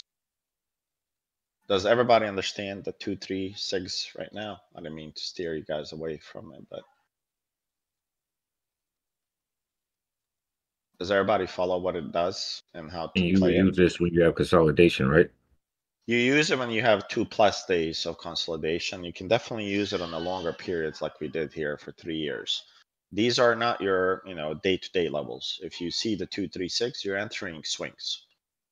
Uh, that's why I'm in a swing entry here. Let's say if we don't bounce at 458, that would be the best scenario for those in spy puts for March. Let's say they give us a treat uh, and they crack 458. I have no reason to close until we arrive to this level. But this level here would be super important for them because here they created a node. They're below it. If they don't crack this node now at what, what is this 470 soon, then most likely we're headed here. And if they push up again and I see, you know, weakness on buying, well, then I would probably consider maybe May, June puts, and I would consider 430. Buy more time, you know, extend my target. Even the CPOC for this year is not too far. Okay. So does everybody understand how to draw the FVP? And if you don't, if you go here, this is a video, you just have to go in the presentation mode uh, here. And if you click, it's gonna start playing this video for you guys and you guys can do the same thing. And I believe I annotate everything that you need to do to draw it on this video itself. Yep. Does that make sense? Yeah. Okay. Yeah. Okay. Uh, I keep clicking the same video now. Okay, so this is a visual and example that combines your standard deviations and I'll my, my secret and not really a secret when I buy shares of companies when I search for um let's see let's say Pfizer, right? If you look at Pfizer, right, a lot of people would say, man, why are you buying it here? Right. But when you look at the data, right, where are we right now?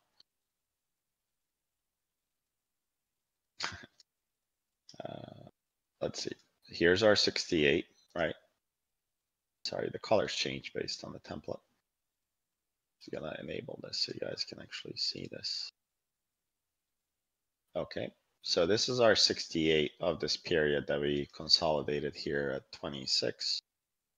Now you can kind of apply the logic and who cares what, when you find a good company at these levels like Pfizer and uh, you look at the history, right, a little bit, this is a key levels for them right here, 26.96. Then I change this to 95 uh, and it's sitting right here. I promised you that this level right here did not impact this sell-off that much here and these levels. You can go back and test it yourself. And then the three sig is right here. Okay. So you're telling me that I should wait until I see a green candle here. Higher high on the green candle right here, 27 something. And then this thing went to $30 and I had the opportunity to buy at 25. on a good company like this, I typically I buy at the bottom of this, and that's exactly what what I did on on Pfizer.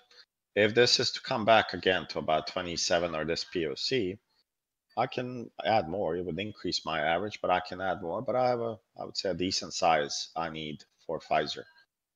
And you can do this on every stock, for instance, that you're buying. Like, you know, he bought brought in Pfizer.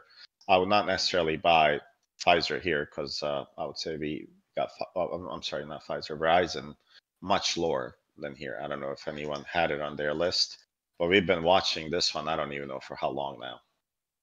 I would say for a very long period of time, we've been eyeing this right here. Yeah, they came in. entered- hmm It just entered a giant skinny belly. Oh yeah, I'm No, targeting 50.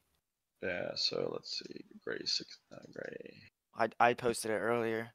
Yeah, that's why I'm, uh, that's why I brought it up. It's it's at a it's at a good level here, but we I think I have a a really good fill for it. So now if you look at this, this it just entered. It probably reached some extremes here before that.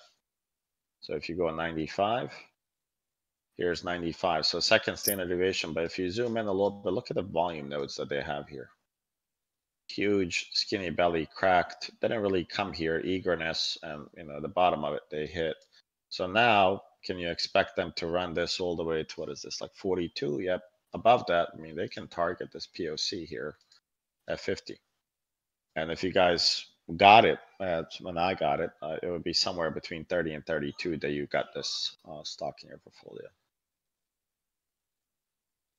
but they also pay dividends. It's a really, really good company. But that's how you can look at it, right? From a longer perspective. You can use these SIGs, right, to identify where the other people are going to hop in. So you can hop in with them as well.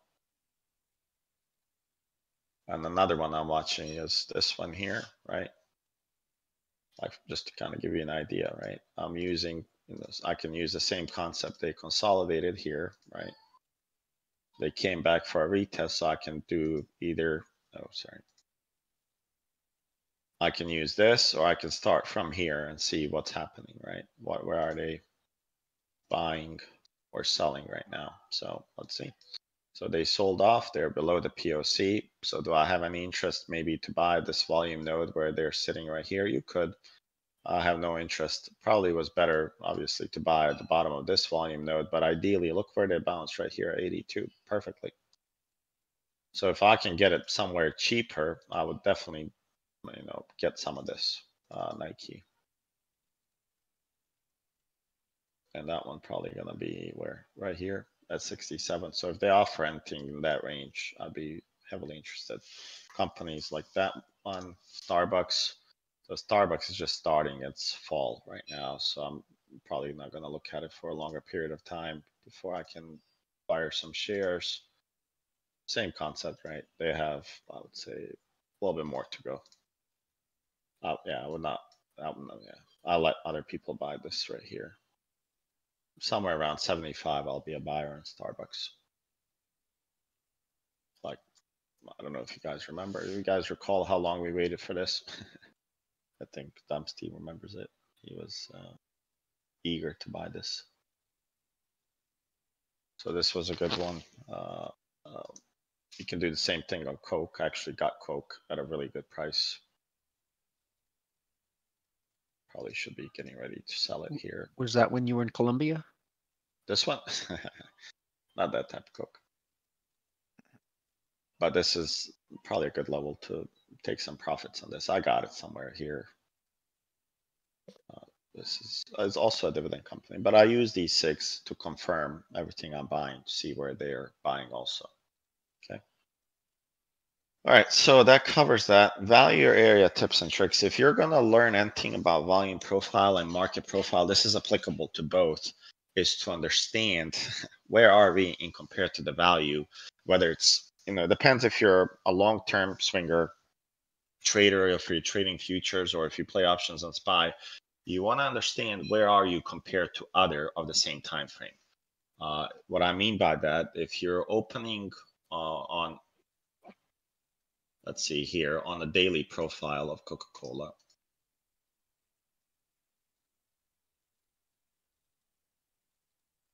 This is our daily profile. We're just going to go extended hours. Let's go on ES because it doesn't have these weird lines. Okay, so now if you think about this, right? Uh, if this was our value area, uh, high here, I'm sorry, low. And if we opened below here, right? What does that tell you? If you're opening below the value area, what does that tell you? Bullish bearish. or bearish? Bears. Bears. It's definitely bearish, right? Even you think about it just logically, there was once value here. Uh, we're no longer opening at that value. We're opening below your value because we can't find buyers. That's logically bearish.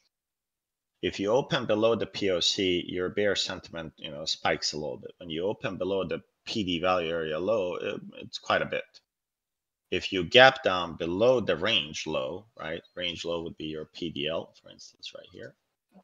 Of this day, I'm comparing this day to this day. So 27 was range low, and you see here at 9:30. Let's go RTH for a second. Okay, so if you opened, let's see, Friday is right here, and you opened where? Where did you open on Friday?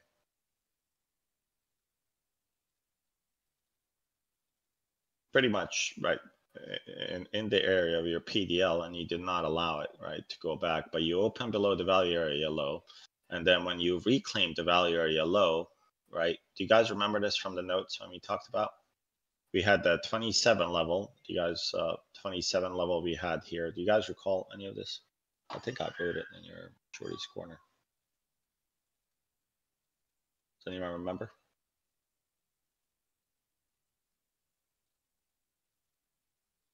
No? Okay. So if you guys go here, that's actually a little bit higher on 30 minutes. This was our level. We, we needed to open about the 40. Then we had, if you guys remember this, I think it was 46 level that being asked, how do you get the 46? Uh, we had the 46 level sitting right here. And then above that, we had 54. You guys recall it somewhere here. This POC. So for us, it was no interest of a if we are able to reclaim 40, there's a high chance that you're going to hit and complete uh, the PD value area high 80% rule, which would be targeting, I think it was 60 something, 57. So 57. So reclaiming of PD value area low is bullish. If you open below it and you reclaim this PD value area low, that's a really, really bullish setup. Can anyone conceptualize and explain why? You rejected prices below and then you accepted higher into that value area. Exactly. So if you're rejecting any time you fall out of outside of value area, that means you're rejecting the value inside. If you fell inside and then you reclaim it, that tells you that you're also rejecting the price is lower. If you're rejecting prices lower, what do you think you're going to test next? Well, you're going to test the extreme to see if the behavior changed on the top. Usually with more force, right? Well, well, you they gave you all the force you could to get it back Yeah, up uh, yeah. from 47. They went back and they tested the extreme, and Yeah. they said, "Hey, we, we- yeah, we don't find any value here." What they had to hold at that point, they had to hold this. Right. Why did they have to hold this from the prior day value area low? Because I'm drawing this with zones, right? This is the zone where we wanted to create acceptance, meaning right here. This is where the bulls had to create the acceptance. Did they? No, we closed right below it. So let's say tomorrow, right? We open above this POC and they come inside right here.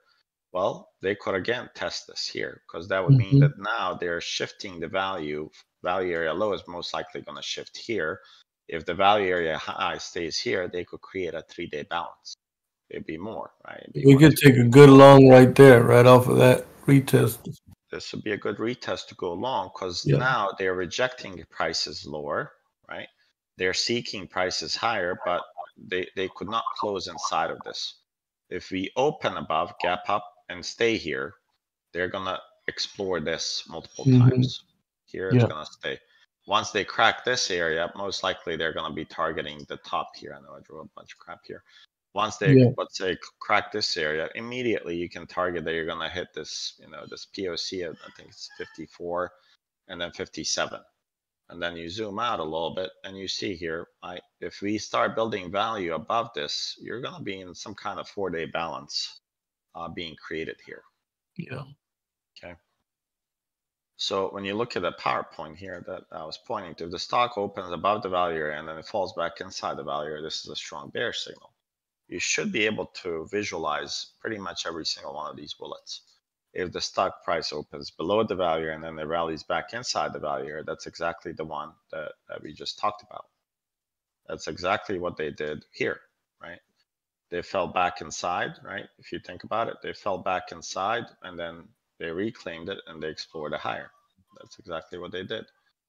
If the stock price opens above, below the value and continues to stay above, below, that's basically institutional buying, selling. You, you wanna, you want the, the price is gonna continue in the trend that we're in now. Right now, they're telling you the trend's slowing down multiple ways. Yeah. Indication of a trend if a series of values is moving in a clear direction through time, the new price levels are being accepted and trend is finding acceptance. That's true, right? If the values begin to overlap and move in the opposite direction of the trend, the chances are good the trend is slowing down and beginning to balance. Well, would you not say that that's where we are right now? Yeah. We had higher high, lower high, lower low, lower high, lower low, lower high, lower low. Uh-oh, now we have a lower high, lower low, but they're overlapping. Now you have again lower high and lower low, but they're getting really, really tight. So if you're able to auction, let's say higher here, what is this, 46, you would most likely get a short squeeze. We could go either way, right, Shorty? Yeah, of course. I mean, you can go either way, but the trend, what the Right, right, is, right. the trend is slowing down. Yeah. Okay. This is important to note. The price is either accepted or rejected. There's no, I don't know, oversold, overbought. None of that shit it matters. Right. Price is gonna be accepted or not accepted, just like you.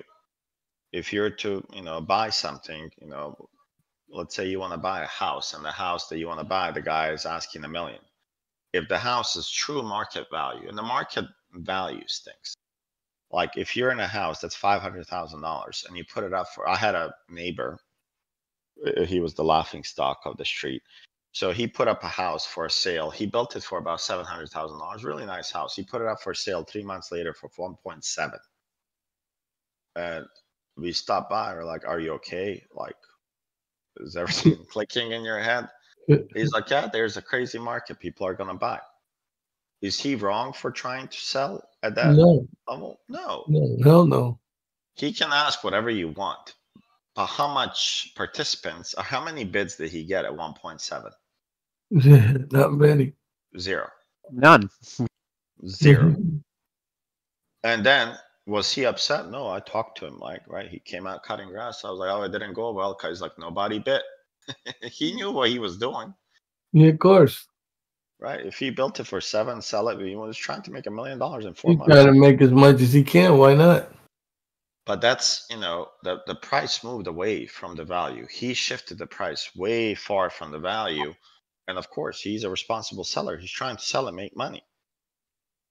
But if the market was to dip, and let's say he's upside down on his mortgage, I'd be the first neighbor to go to him and offer him 350 cash for it. I would try to help him.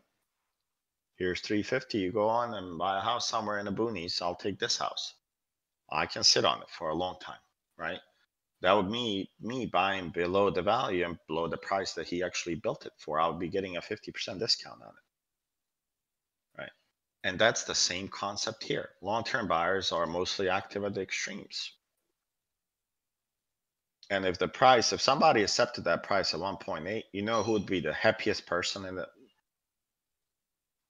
besides the guy selling? Who would be the happiest person? You?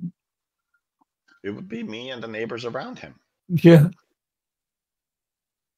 Do you, do you have you guys ever heard of the joke of a gypsy and a doctor selling the house? no. So a gypsy lived next to a doctor, right? and uh, they had identical house. If you can, I mean, just like any neighborhood now, copy paste. Yeah. So the doctor lists his house for sale, and he puts half a million dollars. And the gypsy looks at it. She's like, "Man, this guy's crazy." He's like, "I'm gonna sell it for a million. Yeah. The gypsy lists his house for a million, and the doctor goes, "Man, it's like, why are you fucking crazy? Why are you listing your house for a million while we have the same house? Mine's five hundred thousand dollars." Hmm. Well, the gypsy goes, "Well, when you sell your house, you say you live next to a gypsy. When I sell my house, I say I live next to a doctor." Right. So that perception is different, right? And you Got can it. do the same thing. But the stock market, the stock market is that when you guys are when you look at the market, is it in balance? Is in a in a short term slowdown. Right now we're in a slowdown. You want to be careful shorting because right now it, it's gonna need somewhere to find more fuel for it. Mm. And importance for the next couple of days of where we open and if you see, we'll get to it shortly on the single prints on the market profile. Are you seeing single prints or not? Is going to be really, really important. And we already have seen some single prints. Other time frame traders are any traders that are not daytime daytime daytime traders. So make sure you remember that. That was also on your quiz. I'm gonna release the quiz again here for newer people to take it. Uh, when the price moves away, remember this applies again to volume profile and market profile. When the price, this has been sitting here for I don't know how many, a year. When the price moves away from value in the last period, the 30 minutes, that's called a spike. Those are important, and that happened on Friday. As we were trading live, we said, what if they go back to POC? And what if it became, oh shit, they just did it. We went below, they cracked inside, they never allowed crack below again, so there was no sellers involved anymore, and then they rallied back up. Right? So you want to pay attention to the last 30 minutes and see how what's the behavior, right? If you print anything out from the PowerPoint and you want to learn value, I would print the next couple of slides from the value areas perspective, right? Uh, the way market opens up to relationship to the previous day, if you're a day trader, is is your bread and butter. It really is. You want to understand where we are opening in relationship to the, the previous day so you can establish your bias for the day. You can accept if the price is being accepted or rejected, right? And that will give you 50% higher chance to have a better trade than without knowing this. So there's four concepts, right, that you should know by, you know, remember it. You should be able to recognize it on a chart within 30 seconds. Are we opening outside the PDA but inside the range? Is anyone confused what this means? Right here. Anyone confused what this means? Could you visual? Is there anyone that cannot visualize this? Guys, as a trader, you're a storyteller. You, you you have to be able to tell the story of where the market. The best storytellers pretty much own the world, and that's not only in trading. That's also in, in, in your the rest of your life. Can, you visualize this and tell the story of this? Is there anyone that can't? So the range would be the high of that value area, right? the high of the day and the low of the day is the range. The value area is the 68% of the volume in that day. Got it. Okay. So good question. I was waiting for somebody new to ask. Glad you did. This is what it looks like. If our PD value area high is here, right?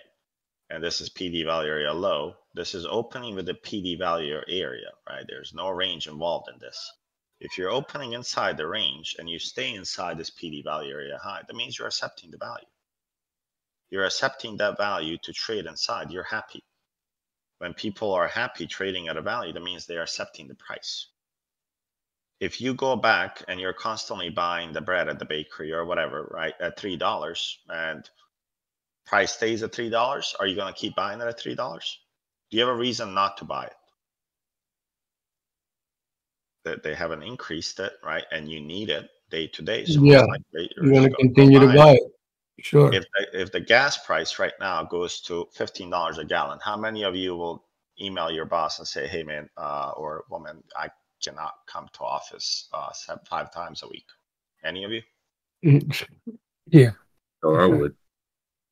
Well, you would question it because it would increase the expenses of your Mm-hmm. life, right? You have some kind of formula, how much you bring, how much you expend. And if it goes to $15 a gallon, you travel 40 miles an hour, you have some computations to do. Yeah. Like, oh shit, I can't come five times a day unless you give me a hundred thousand dollar raise, Yeah. right? And that's where at that point price would be rejected because most likely you would not be participating in buying there. So this is acceptance example, right? You're opening inside and you're staying inside. You had a quick drop. They can do this, right? They they're, they have freedom to drop is below the value, but they quickly reclaimed it and they stayed the whole day inside the value. That's opening within and accepting. That's the first example, and this is it. I added IBH and IBL just kind of slowly introduce it to you guys. Then you have a rejection, right? This is our PD value area high and low here right? But we are rejecting. Rejecting doesn't mean you're going lower.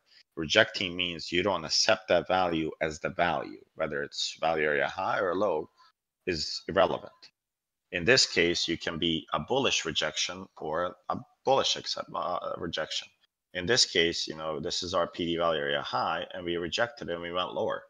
That means that this value that was being presented from prior day is no longer being accepted. On this case, we have a bullish rejection. We're going higher. Okay.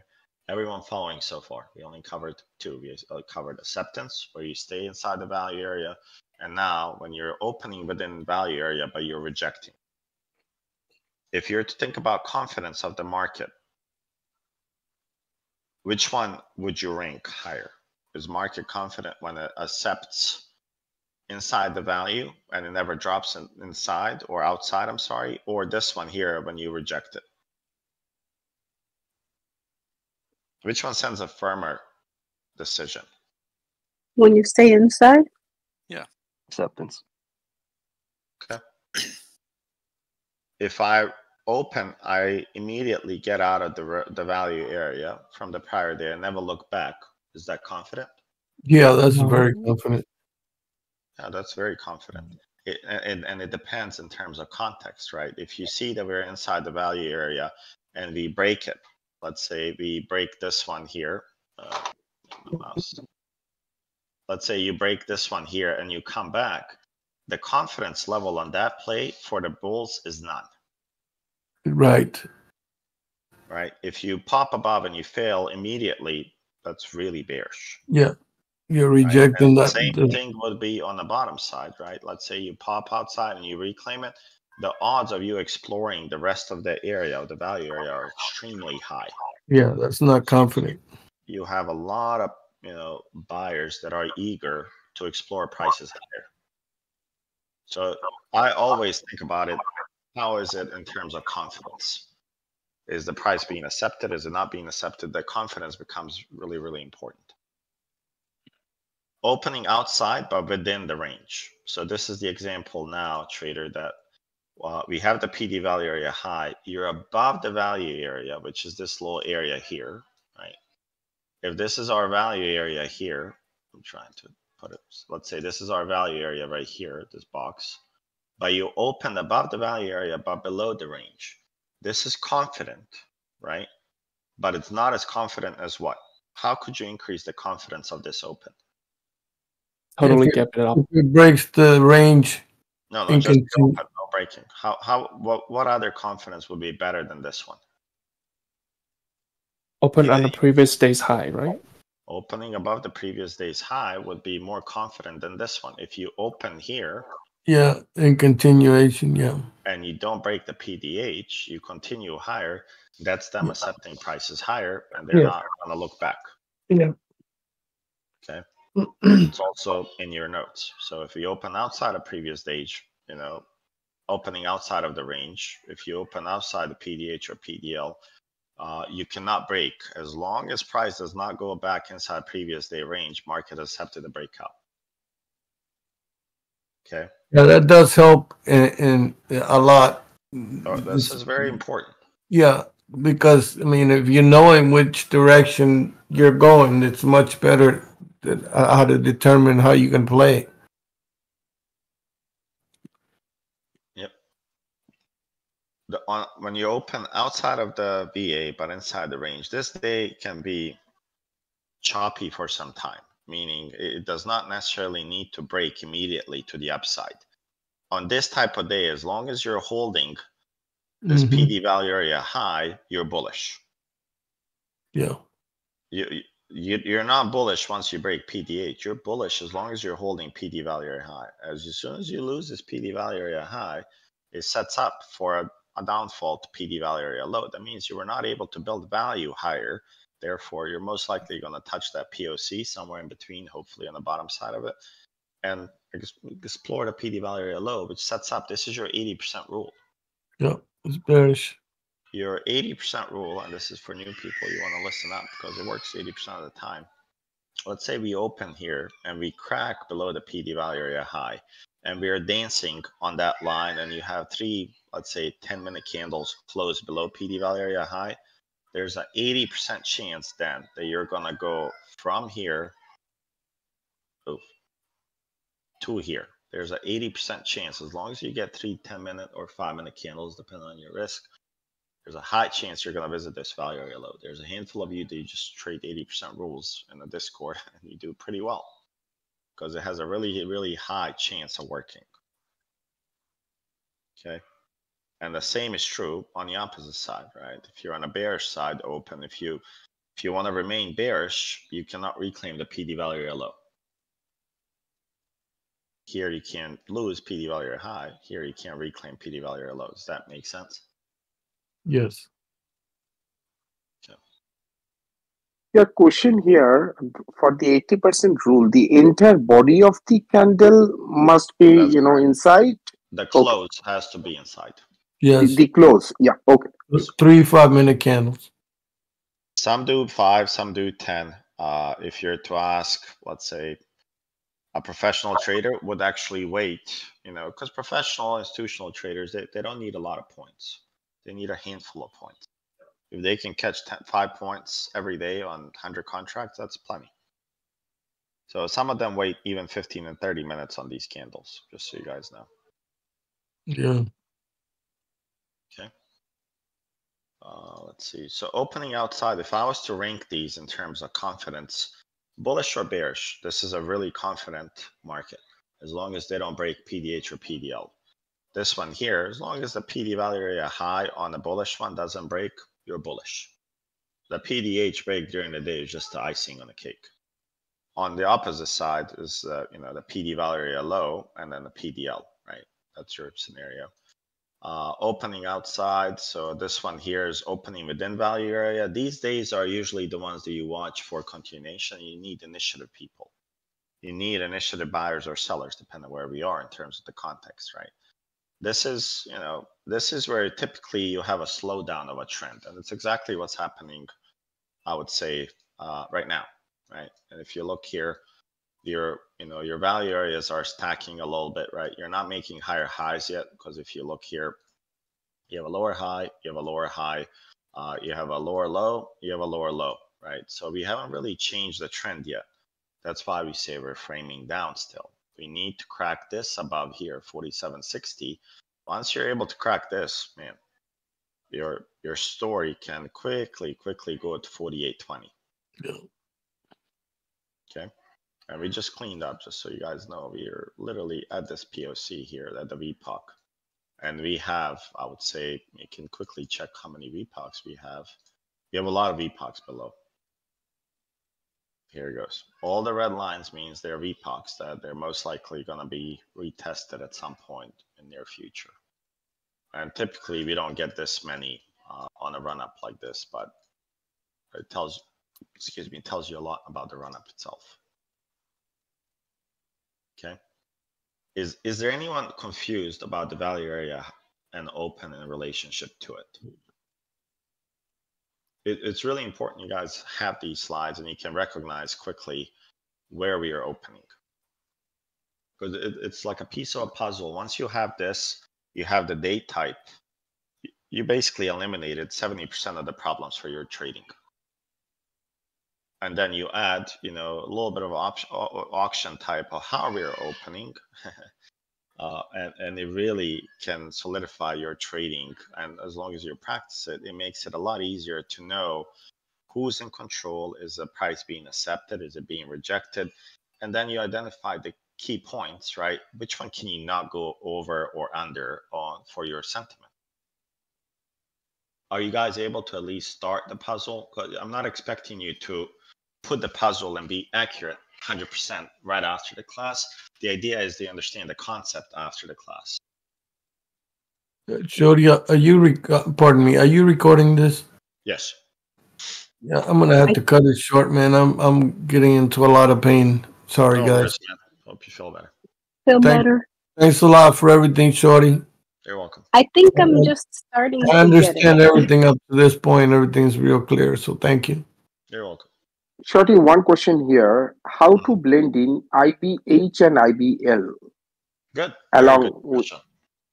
So that's a very good question. I left it there to to open that up uh, kind of with ease, right?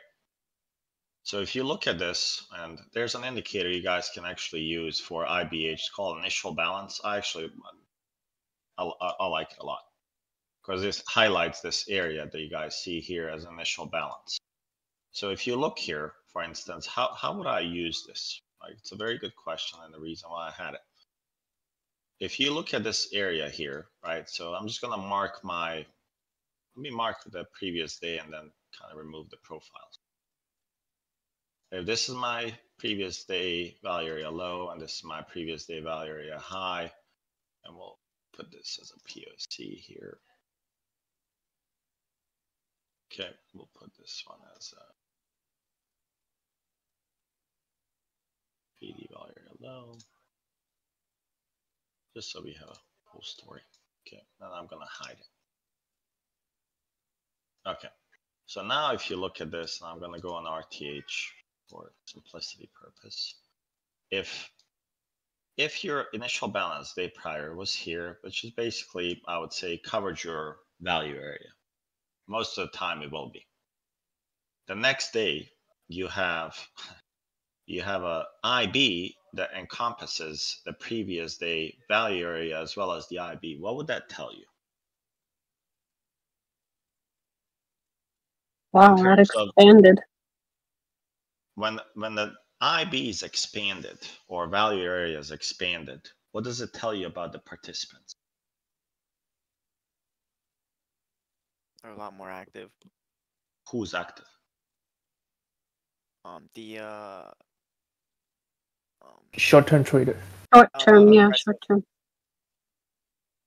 When it's a short, when, when the, when the value area is narrow and IB is narrow, who likes to trade in fair values? Short term traders.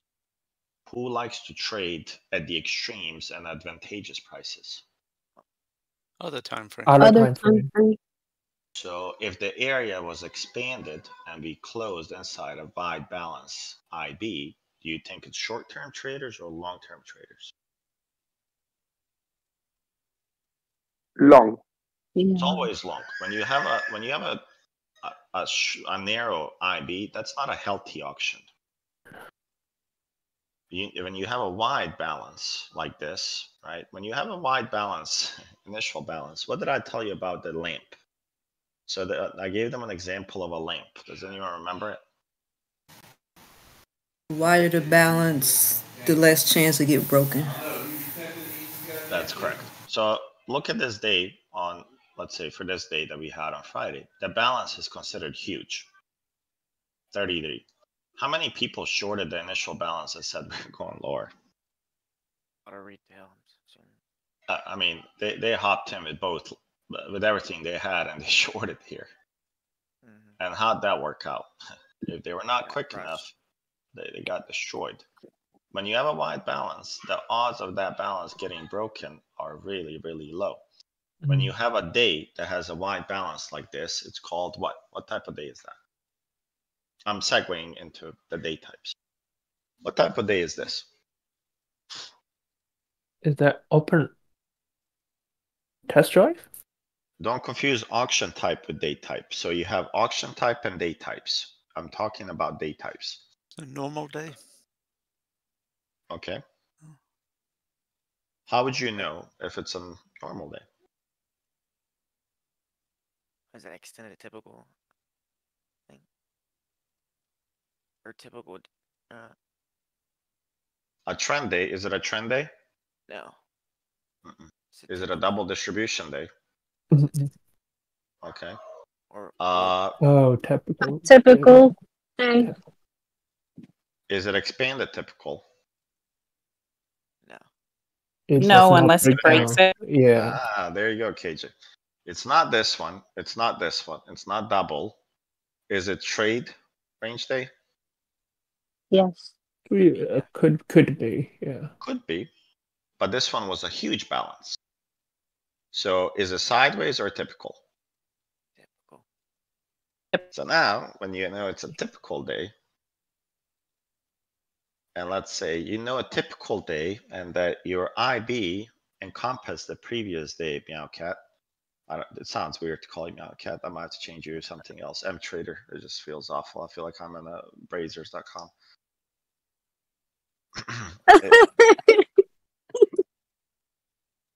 I'd be great to identify day types for sure. Yes. So now, if you have this, that your IB basically took out your previous day value area high and your value area low and encompassed the whole thing, that tells you somebody else entered the market just now. Uh, It's telling you they're there. And then, of course, how can I validate this? Bean, what do you think? How, how do I know that somebody entered the market here? How can I confirm it? Excess. Exactly. I can check by excess, right? If I go here and now I need to see something on the bottom. Right? As soon as it comes up, because it takes its sweet time. If I check here, is there excess? Barely. Barely. And that is what I would expect. Why would I expect barely excess here? I touched it briefly earlier when I was on eight hour candles. Because we're still in balance Let's or in a- range. What kind of node did we have there? Was it a, a major see. node? Do you guys remember when I highlighted the node and I said Yeah, that yeah, node? yeah. That So node a was small. small node was there. And it was tiny. Remember we highlighted it was tiny one. So Yeah. I didn't expect the volume to be as heavy. I expected whoever is defending that position to just show up there. Right? And they showed up just there. that was enough. But now, if we are to expect, let's say we lose this, let's say market decides to actually sell off a little bit, 3% down, and they come here, would I expect the excess to be heavier here? Certainly. I would expect them to be more aggressive here because there was a longer consolidation. There was more participants here because this range was from here to here, right? Yeah. You're you're expecting this to be, you know, almost 71 points range. That's pretty good, right? It's a pretty good range they consolidated in. And now, if you think about this, if this was the range here that they also consol- consolidated in, and I would say it's equivalent to the range here, and we're dropping, do you really think this is what we get out of this range unless it's a trap? Last time they gave us this range, we got a little bit more of a move. We got 3% move.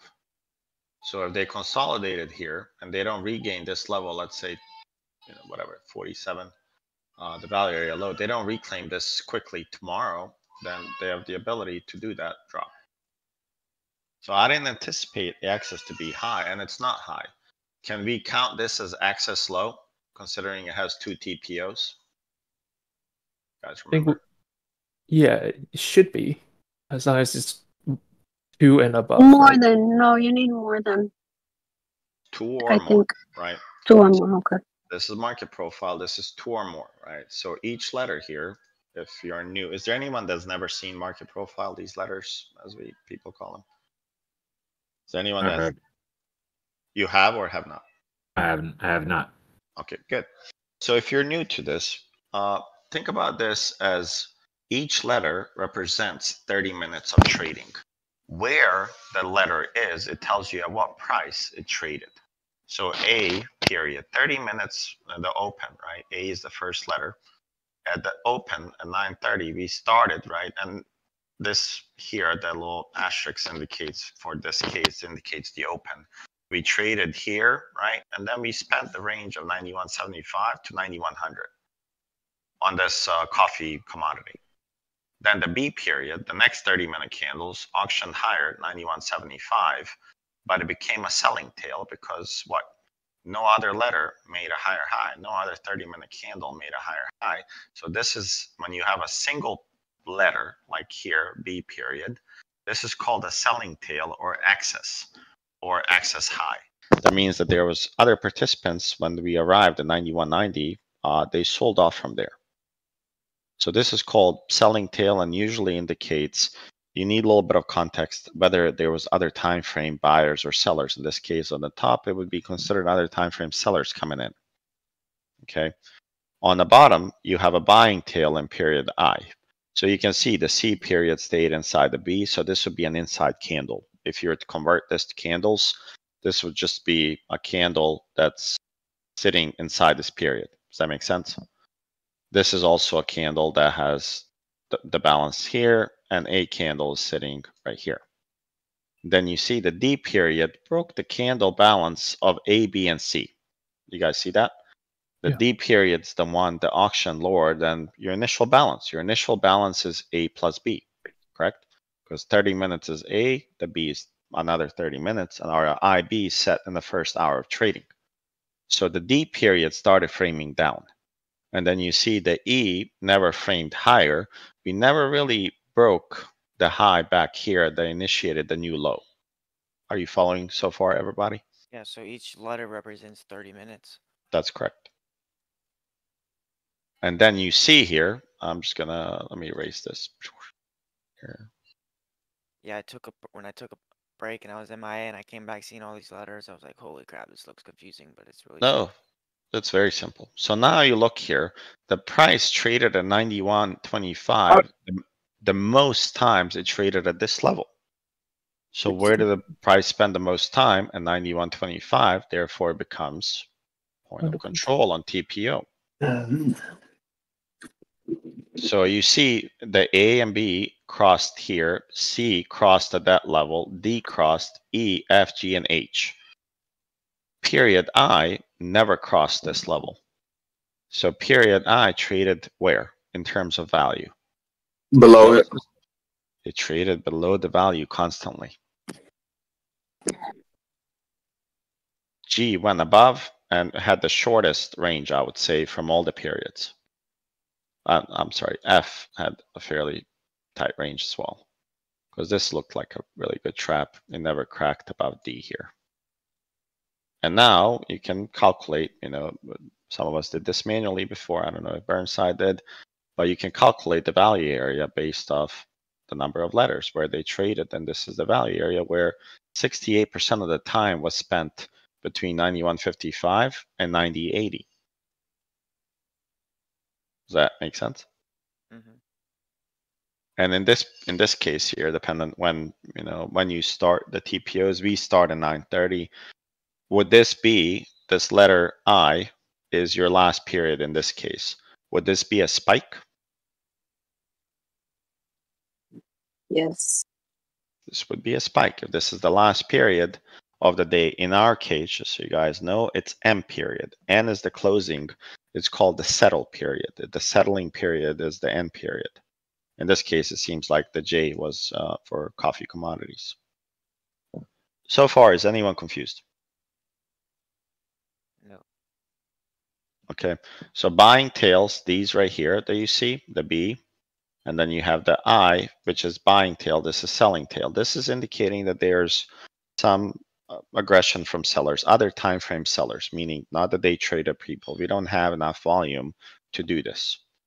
And you have buying that also somebody found value. You know, they started buying here below the value. Remember, big boys buy at advantageous prices. They, they don't necessarily want to buy at value and sell here. That's me and you, two sided activity. We buy here, sell here, we cover here and here. They buy here and they're going to sell here. Okay. This is important here. If you have more than two TPOs at top or bottom means two periods where but was not able to auction lower unfinished auction.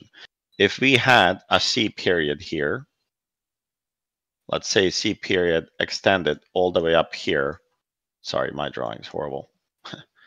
uh, if this was C period here, let's say it's extended all the way to the top. Meowcat, what would that indicate?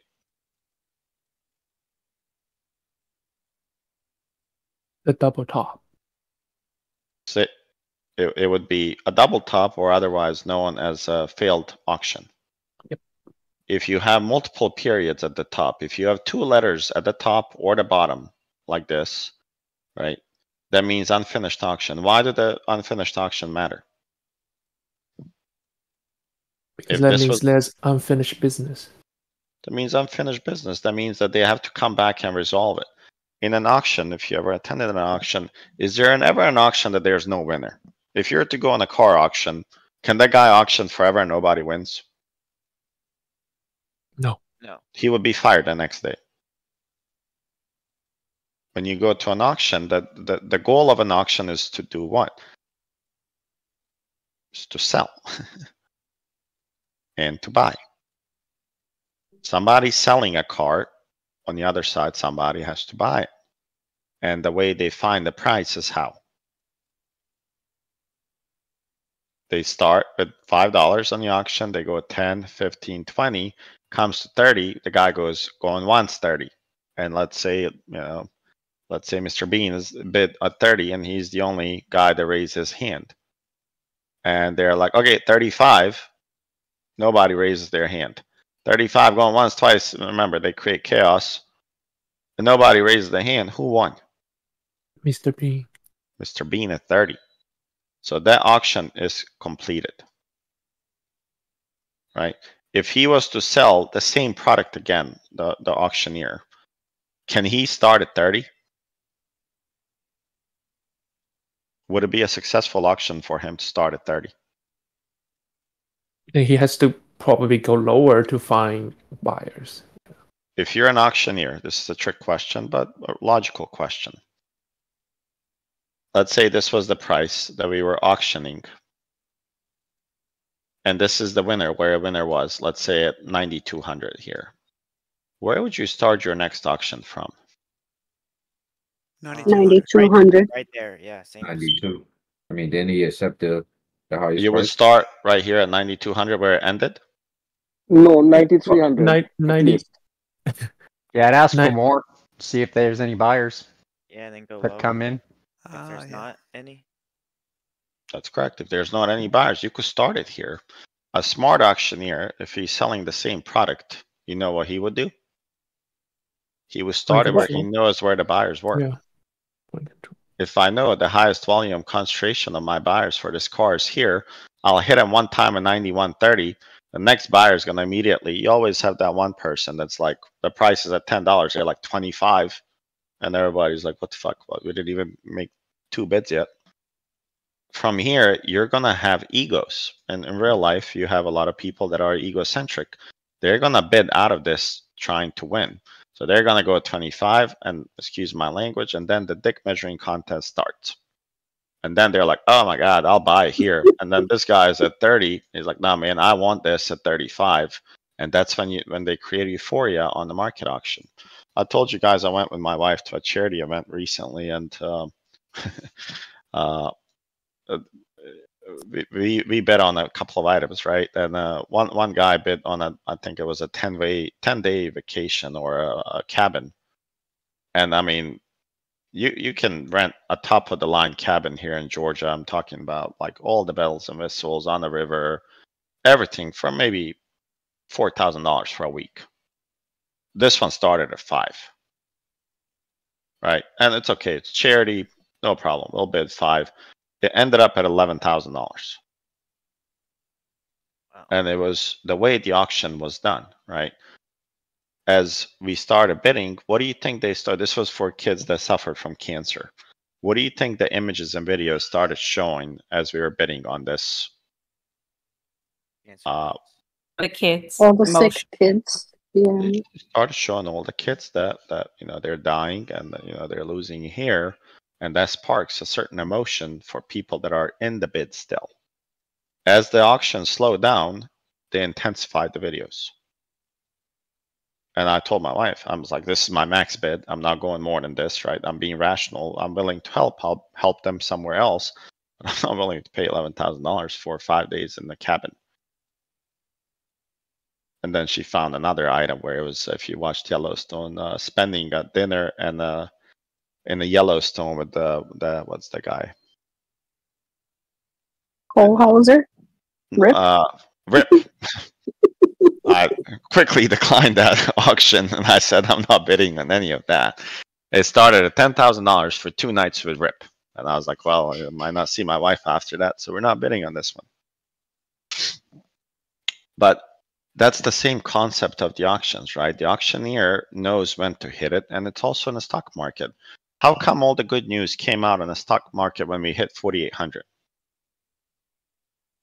Just go back to your news. Go if whatever news media you watch. Every bank said we're in a bull market. Go look. Every single bank expects a bull market start now. They want retail to buy their shares. Guys, these big boys are not going to sell it to each other. They're not stupid. They need individuals to step in. And the only way that you get individuals to do something is to change their feeling. Mm-hmm. In the, in the live auction that I went to, they put sad stuff. They gave you free alcohol, right? Emotions go up. You see a lot of sad kids, and of course, I contributed. I'm not I'm not a cheap ass. I gave them twenty five hundred dollars for a picture, but I'm not willing to give you ten grand for five days, or with a rip, ten thousand dollars to spend at dinner and yeah, whatever with with a guy that's famous. But people bid on right, and then of course you have you have spoofers. I don't know if you, if you has anyone ever been to a car auction or any of it house auction. Have you ever noticed that there's one person that comes out of the gate firing with the with the bids? He's probably fake, right? With He's fake. Yeah. He's the guy to initiate the euphoria. He's there immediately raising his number higher, higher, right? And he's a paid actor of the auction to make sure the auction's live. And of course, if he wins next week on that same auction is the same car. Uh, because he, he didn't buy it. that's smart though. No, it happens all the time. And same thing in here. I mean, all the banks upgraded. Apple upgraded to 220. Nvidia's upgraded to 650. Go back. I dare you to spend 20 minutes of your time. Go back in 2006 and 2007. What the news said about the stock market. Amazing. It's the That's same not- exact stuff that they're telling you right now. Why didn't What the about banks- inflation? What about 4140 when we're coming down? Why didn't they say it was a good time to buy then? Because um they need to buy the retail shares and scare them. Exactly, the liquidity. They can't compete with us to buy, they need to buy on their own. if they told you to buy, if 100 million people, let's say 10 million people bought three shares of Pfizer, that's 30 million shares, right? How much would be left for them? So the idea is scare you away so they can buy, and when they're at the top, is to make you feel like you missed something, so you will buy from them while they're selling. A lot of people fall for it, but just to go check 2006, 2007 September news. You'll see. Any questions on this so far? So initial balance, just to kind of reiterate, initial balance is the first hour. That's your A and B periods, right? In correlation to value areas, if your IBs are in line with, let's say, previous day IB, with the with the range, most likely you're gonna have just a normal balance day. If the IB, uh, let's say it's covering like the previous day, cover the previous day, somebody entered the market, there's a high chance that day after that you're gonna explore higher or lower. And that's where you look at excess to see is it on the top or is it on the bottom, meaning selling tail or buying tail.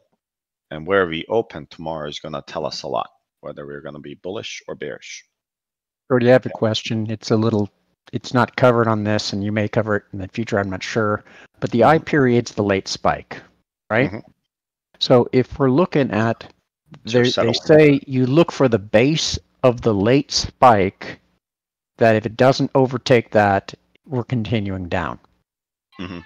That okay. So in this situation, is the base 990 or is the base down where we end up getting the D period combined?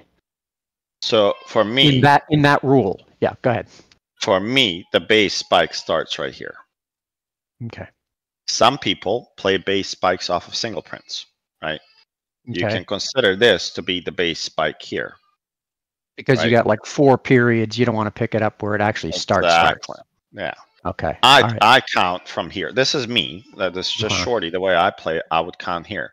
You have the books. If you look at Steidlmayer, right? If you read his book, if this is our value area low, right here, this is where he would start on the break of the value area was the base start.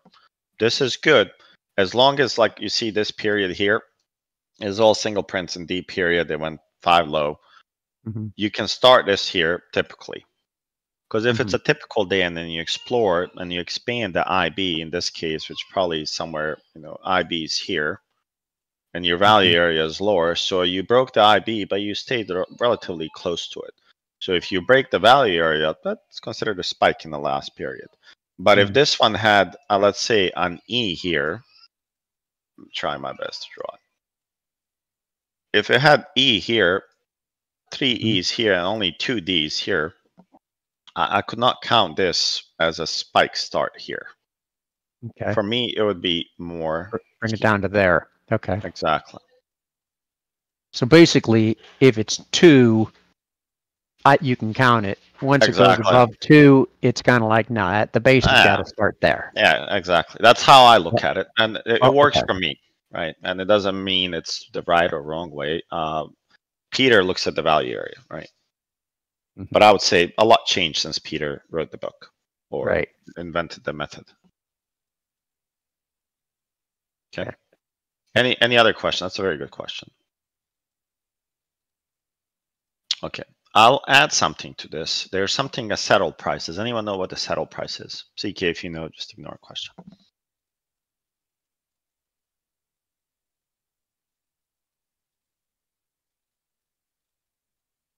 The day candle close. At what time? Uh, 4 p.m. Four fifteen. Four fifteen is the settle price. 15. You know you can trade SPY and SPX till four fifteen if it's not zero day. Guys know that? Yeah, yeah. Options too. Yeah. Yeah, options you can trade till four fifteen if it's not zero DT. Your zero DT settles at four cash on SPX. Right, on SPY is different, basically. You have to have shares. But four fifteen is your settle price. The the reason why I bring this up, I brought it up to you guys about you guys remember the inventory? What we talked about not too long ago about inventory being short or long? Yeah, yeah, yeah. Okay, so overnight inventory plays a role based on the settle price, right? So if you guys have, I would say if if you settle the price at let's say 4500 and overnight we are well above 4500 everything traded above 4500 it is believed that overnight inventory is what Not long. net long if you're trading at that level what is it like 45 Balanced. It's basically balanced. There's no positioning an overnight session. And why is that important is because you have the markets are 24 7 it's globex right? I mean everybody's trading. It's the most liquid piece of investment uh, vehicle in- in the world. The es and nq right? So they're trading and that positioning is important. It's important to know this because if the net inventory is long right? And let's say you come back from net inventory and we open 930 comes in and they start selling why do you think they will start selling at open They want to liquidate the weak hands. Exactly. They want to liquidate those overnight longs. And if there's a POC below in that area, that becomes a very good spot to go long. Because all those people that just got liquidated, right, they're most likely going to have a stop loss somewhere. Once they close their sh- longs and you come to that POC, what do you think the cash session does? Buy it up. they're gonna buy it up. Right? They took the weak hands out, and the same is true if you're net short. If you're spending a lot of time below settlement close, below the price, that means you're short. So that's why now I'm gonna ask you, can you see how uh, the auction type open can integrate into this? If you have a POC that's at the bottom and that inventory was net long, when we open, we can sell off from the bot from the top where the inventory was long. We can test drive. We can come and test the POC and auction higher. Wouldn't that be an open test drive? Yeah. Yeah. And same can be said if, if it's vice versa, right? If it's I see- bearish. I see what you mean now. Like when you said um, uh, the next day they start the auction back off at the POC. Yeah, they, they can kick it off. They test the POC, and that would be an it would be an open test drive. We test the level and we drive again. We go in the direction that we want it to. Okay. So does everybody understand the inventory? Do I need to add specific slide to it so you guys can maybe remember it? If you can, that would be great. Yeah, I'll Yeah, add I a hate to here ask. to it- No, it's not a big deal. Uh, I have it in my head. That's why. so like I asked my father-in-law, I'm like, hey, when are we gonna build this uh, fire pit? He's like, I have it in my head, and I'm like, oh, great. Well, I don't have it in my head, and I can't visualize it. So no, I I, got a, hate I, I, I got a question on this one too. I've Mhm. heard from a couple different people how they do it, and some people are doing like one minute on that opening candle for the drive for determining the high and low of the candle hmm for the bounce retest, or uh, depending on if it's holding long or short. What time period do you like to take? The that? opening period is 30 minutes. Mm, I mean, the, the, uh, do you do an opening candle with the with the opening drive? I do all? one. I do one minute. Min- Mine is minute. always That- one minute. okay, Yeah. that- that's the candle is one one minute. Yeah, I do the one minute high and low, and that that tells me, you know, how are you positioned? How are you doing on that? Oh, hello. Yeah. Can you guys Yeah. hear me? Yes, we can hear you. Yes, we hear you. Oh, something happened. I lost my screens for a second. Oh, I don't know. Did it blink for you guys or no? no. Just me. No. Oh. okay. And uh, You guys will laugh when you find out what happened with my internet, but I'll save that for the last. Uh, One of the yes, I, kids I looked at the one. no, I wish it was the kids. Uh, so I, I do look at the one minute, but for the 30 minutes, when I establish what kind of drive to reconfirm, I, I need to make sure that the 30 minute low, the high, were not taken out uh, to validate those auction types. Right. So if we had a PDH, let's say above, let me go there. so initial balance high, is everybody okay with this? Is there anyone that's not? It's your first one hour, right? Uh, there are certain rules about IBH, and we can cover this in more detail, where it gives you 88% chance that it's going to work, and that actually, I would say, it, it works a lot, a lot of times, right? Because it does have a 88% chance. If you spend time above IBH, if you spend, let's say, three five-minute candles above the IBH after 10:30, then the 88% chance that the low of the days has been set. Can you- Does everybody understand that? Mm-hmm. And same is true for opposite. If you spend, you know, three, five, or ten minute candles, whatever your risk is, or you know how how probable you want to be. If you spend it below IBL, then the setting of IBH, the high of the day, is set 88% of the time.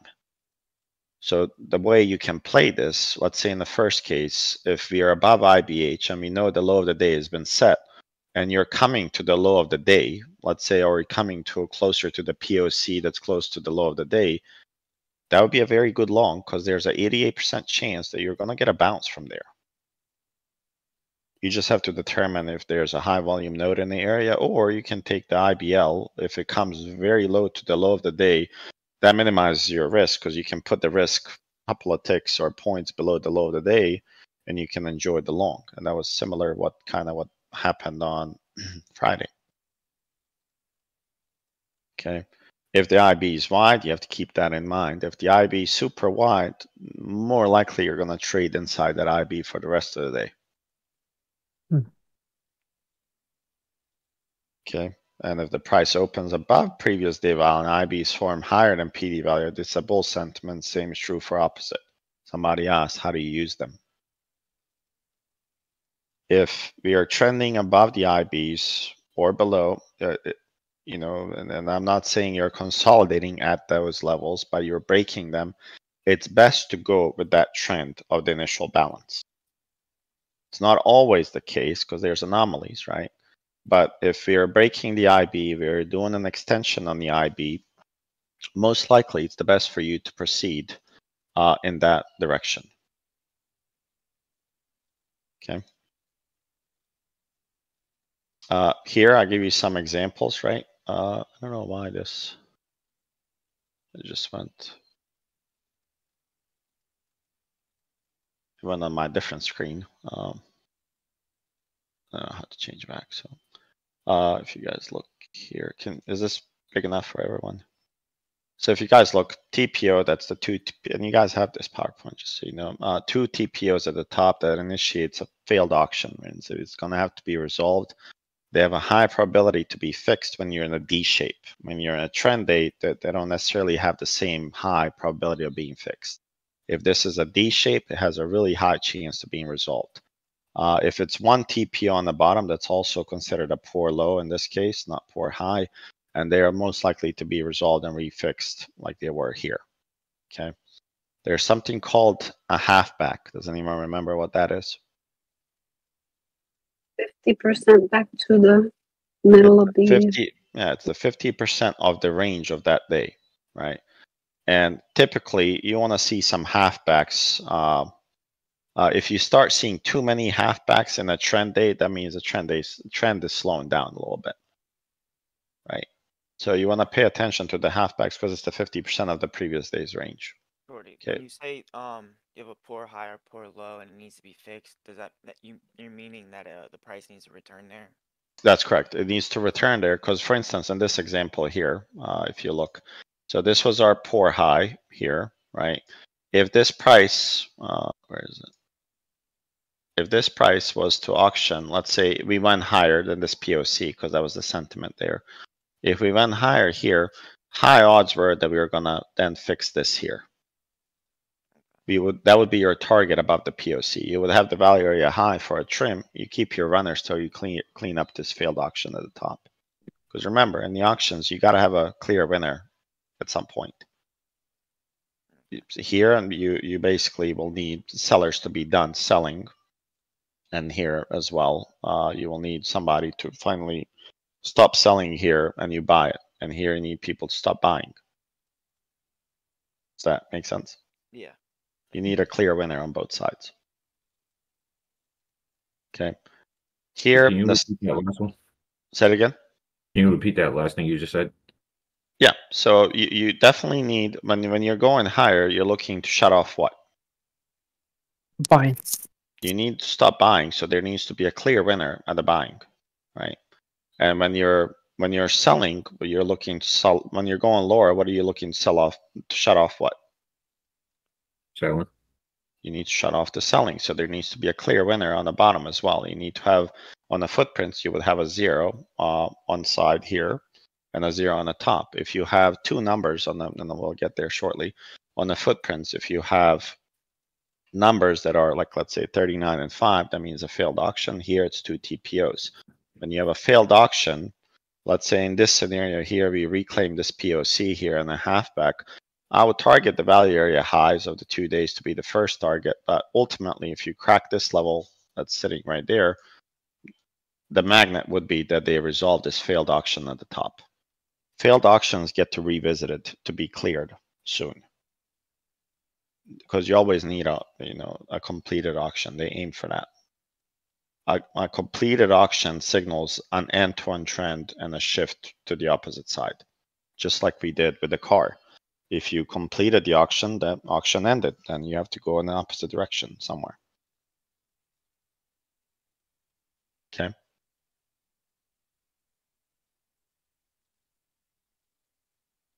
This leads into the date types. This is fairly important, just like the value area, the four scenarios in the value area. Uh, we have, I would say, five date types, right? So you have the normal days, right? Uh, entire range day set uh, in the first period. This is your IB.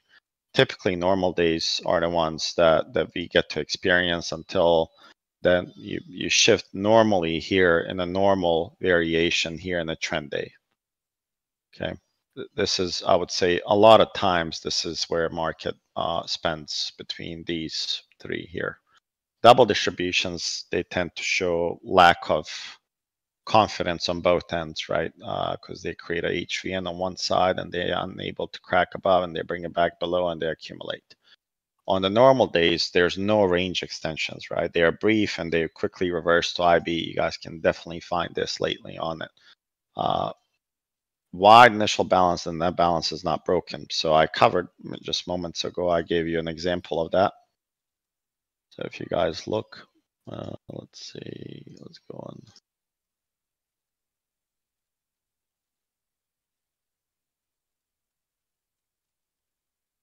So if you guys look here, this was your initial balance here. I'm just gonna look at the initial balance here. Initial balance was set in the first hour, right? And it was 33 points, right? And the whole day range was how much? 40 points. What's 33 divided by 40? Anyone? Anyone fast enough? Around I don't know, is it like seventy-five? Yeah. Should be about, I would say, uh, uh, 84, 83%.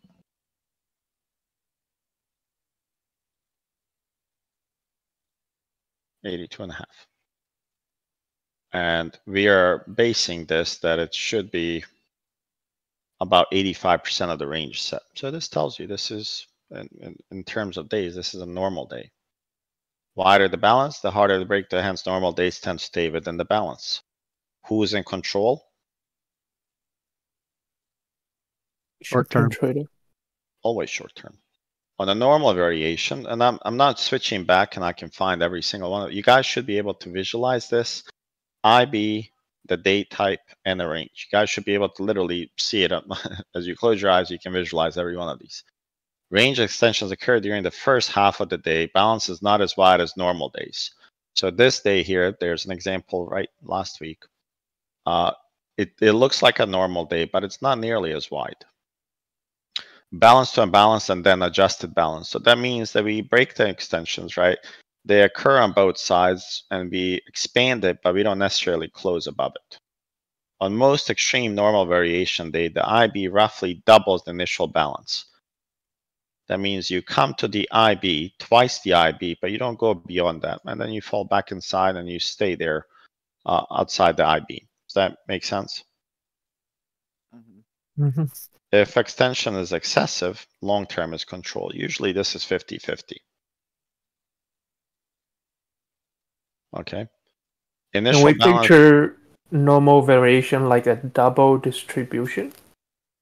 No, you can't. So it would look like more like, let's see. So if you look at this one here, right? Uh, pay attention to this here. This IB here was, I would say 33. Mhm. Picture this one right here. This one is 20. That's a, that might not seem like a big difference to you, but it's a huge difference.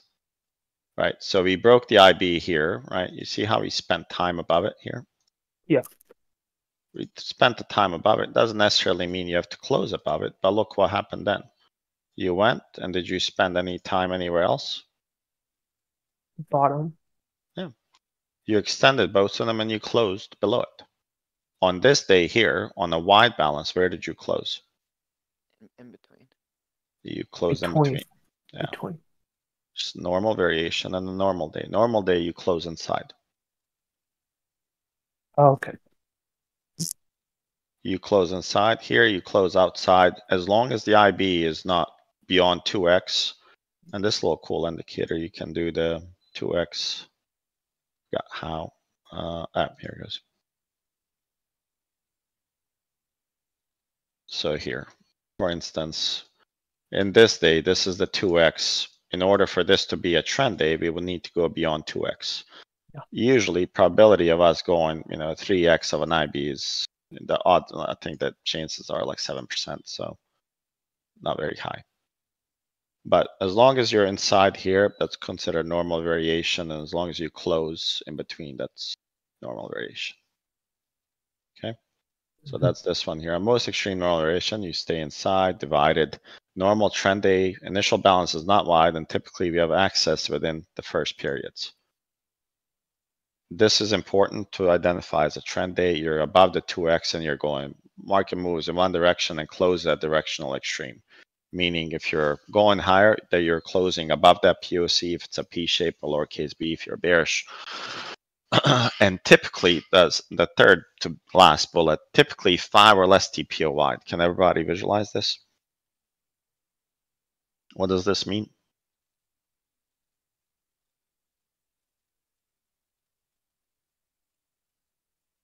Does anyone not know what it means? It's a little tough to visualize. Oh, like y- you saying that excessive? It's not like ha- not that much. No, I want It's like a it's like a D day maybe, and just we're at the POC and a range day, kind of looking. I don't know. Five or less Sorry. TPO wide. That's okay. I'll, I'll- I'm gonna give you guys an explanation. It's gonna make sense in 15 seconds. All right.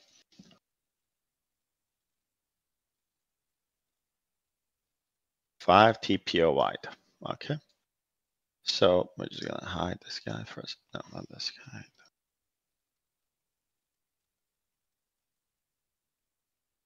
This is our TPO, right? Everybody agree? This is your TPOs. So on the bottom, we have one TPO. Here we have two TPOs. One, two, one, two, three, four TPOs. How wide is this TPO? One, two, three, four, five. This one is Oh, six. This one is seven TPO wide. So this one is seven. This one is eight. And we're gonna hide this fella here so I can see these colors. So now you can see one, two, three, four, five, six, seven, eight periods wide. And this one says on a normal trend day, you should never concentrate that much time at a certain level because if you're concentrating on time, that means you're building value. when you're trading, when something is aggressive, they're rejecting the value, they're going higher. They should not spend a lot of time at these points. Remember, when you're bullish, they're not going to spend a lot of time. When you see a P shape profile, let's see, let's find one. I'm just going to make this a little bit smaller. Let's go four because it can give us a better. P shapes are trend days. Yeah, December P shape. 13 will be the one. Okay, so let's take a look at what is this? December 20th. Twenty. And this one is, if you look at it, it has one, two, three, four, five, six, seven at the top. And then typically, if you have that many at the top, that means you concentrate too much. You, you get a little bit of punishment and you get a pullback. Let's look for one that's like a true P shape somewhere if we have one. Everything's been, uh, December's been a awkward month. Uh, this is consolidation.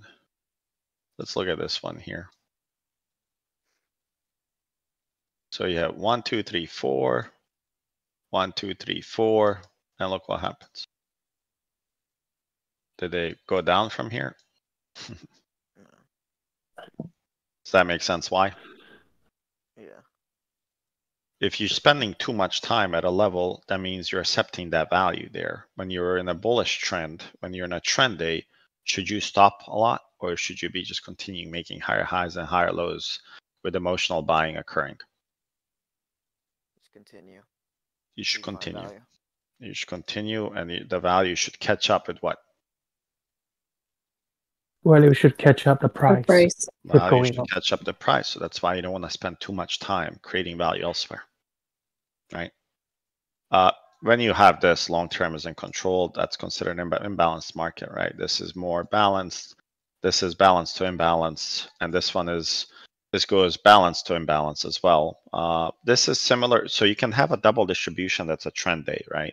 You guys have seen me or heard me, I'm sorry, say, you know, we are we have a double distribution day, but be careful. For instance, this one here seems to be kind of like a double distribution. You have skinny belly, skinny here, right? You have single prints in between here and here, right? So the way you treat this is this is one distribution here.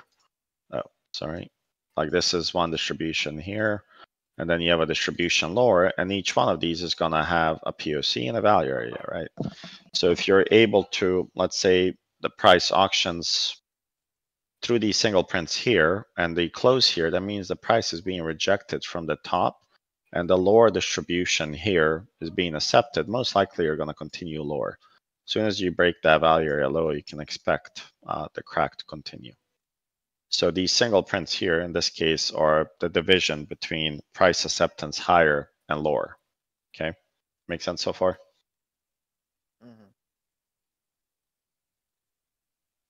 E- Everyone following? But if, let's say mm. we closed above this high volume node that's sitting right here, the heart of it, that's where I say you want to be careful shorting this because this usually can cause a major, major spike and same intraday as well, right? And see here, if you look at it, if you go below this, you can continue much lower because that means that the confidence when you have a B, right? When you think about this. So we had confidence we are here now. Oh, never mind. Well, let's go lower and look for value. There's no market confidence to continue. Market confidence the best when you're just going higher high, higher lows or lower high, lower lows. When you're stuck in between, this is indecisive, I would say, market auction. It's not very clear. So you can have a bullish one as long as you close above the higher volume node, higher distribution, or a bearish one if you close on the bottom half of the distribution. So this one can have a double distribution trend day or a bearish trend day, bullish or bearish. Does that make sense? Yes. Yeah.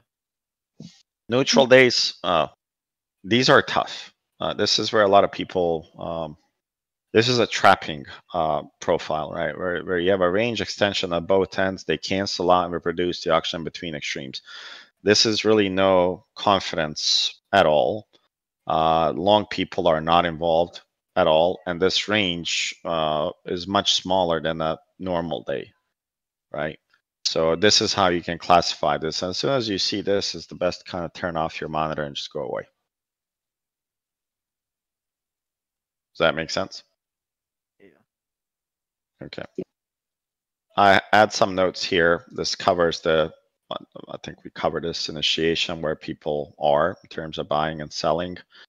Uh, TPO count, honestly would not worry about it. I do not use it at all. I just added in case anyone had interest in it how to count the TPOs and how to differentiate in balance days, who's in control, long term, short term.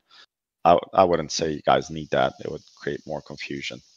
Uh, Shorty, really quick before you uh, proceed, um, for that last thing you talked about for the range extension, so you're looking at the first hour initial balance, and you're looking for the range to be extended both ways, like within the next hour after that, or like At would they all. break the top or break the top? You, you make a conclusion on the day after the day is done. Oh, okay. Yeah. Okay. And typically these are very nasty days and uh, you can identify them. Like for instance, here, like um, this is, I guess this was half day. But let me turn on the candles. You can find it here shortly. It's always like that. Yeah. So for instance, look at this day here, 21st. You see how you went above, you went below, and you closed, I would say, deadly on to the POC here. Well, maybe not, but definitely 50%. You close right pretty much at 50% there at the halfback of it. Typically, So- you're, Mhm. you're gonna close there unless it's an extreme close, but I would never consider on a tight, narrow range like that anything extreme. If it's a wide balance, like we did Friday, you have a wide balance and you're closing at the upper half of the value area high or low. Those are extreme closes on a neutral day. Does that make sense? Yeah, so that slide that you were talking about about the various kind of days, you're not really looking to make uh like uh judgments within No. the day as it's developing. You're looking at it after. After for the the- day types, yes, because I can use, for instance, this day type here. Uh, I can use this. Let me say, watch this. On this day type here, what would you consider this to be? What type of day is this? Uh, neutral variation. Neutral. Okay. On profile, on volume profile, what type of day would you guys say this is? Hmm, Maybe a lowercase b. I say lowercase b. I'd say a D. E, more like. Well, this looks more like a, I would say like a D shape, right? It has a pretty good distribution here. The worst case, you can consider it a double distribution, but it's not really clean, I would say, right? On RTH, it's not clean double distribution. Here's your ETH. This looks like a perfect, I would say, D shape. Distribution nicely concentrated in the middle, right? Skew is right in the middle as well. So this is definitely a D shape on the day, and you close right at the POC. So what what insight do we have about tomorrow or Monday? So yeah, tomorrow. We're closed under the fifty percent, so it's most likely will go lower. Okay, and if they quickly reclaim this POC, can you stay bearish? Um, no. This is gonna be a bullish setup, right? If they gap up tomorrow, which I think they will, uh, just uh, intuition here. If they gap up tomorrow, they can potentially test this poor high at the top. Right, so this is a D shape. I use it after the fact. If I see the initial balance, that's why I use initial balance intraday. If I see that, you know, let's say tomorrow we open an initial balance is seven points, like we've had some, like let's say it's this much, it's 13 points. Well, I anticipate that we're going to have a breakout of the initial balance and I can go with the flow of the initial balance. In this case, let's say this is the initial balance tomorrow and they crack this to the upside. uh, I can see the probabilities working in its favor because they don't have much until the poor high and fixing that and there's some high volume nodes. That's how I would use the day types, right? This case that, that we're uh, currently in. You're in a D shape, you're closed neutrally. I mean, you're right at the POC. If you close, let's say they didn't have this spike. Let's say they close somewhere here, right? In this range, that would be a slightly different story. You're in a D shape and you're neutral bearish. If they closed somewhere at the high end, let's say here, that would be neutral bullish, right? It's a neutral day with a bullish sentiment. and I would expect them to continue on Monday. So here's a little bit of a neutral, but the reclaim of the value area low and how aggressive they got there is what's leaning me that they're gonna try to push this tomorrow. And I don't know if they have news or if anything's scheduled, but that's just my sentiment. No sense? news till Wednesday.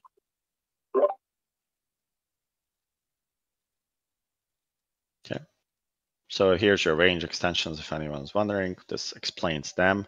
It has a bunch of questions uh, before I release the quiz. If you guys have time, maybe read through it again. Uh, opening range types, this covers the four types. So you have five day types and then you have four auction types, right? Uh, it- it's good to know them and to be able to visualize them. And then you also have four types of value areas and opening types compared to the value area. So four value areas, five day types, and uh, four open drives. I did start something here. I'm not nearly done.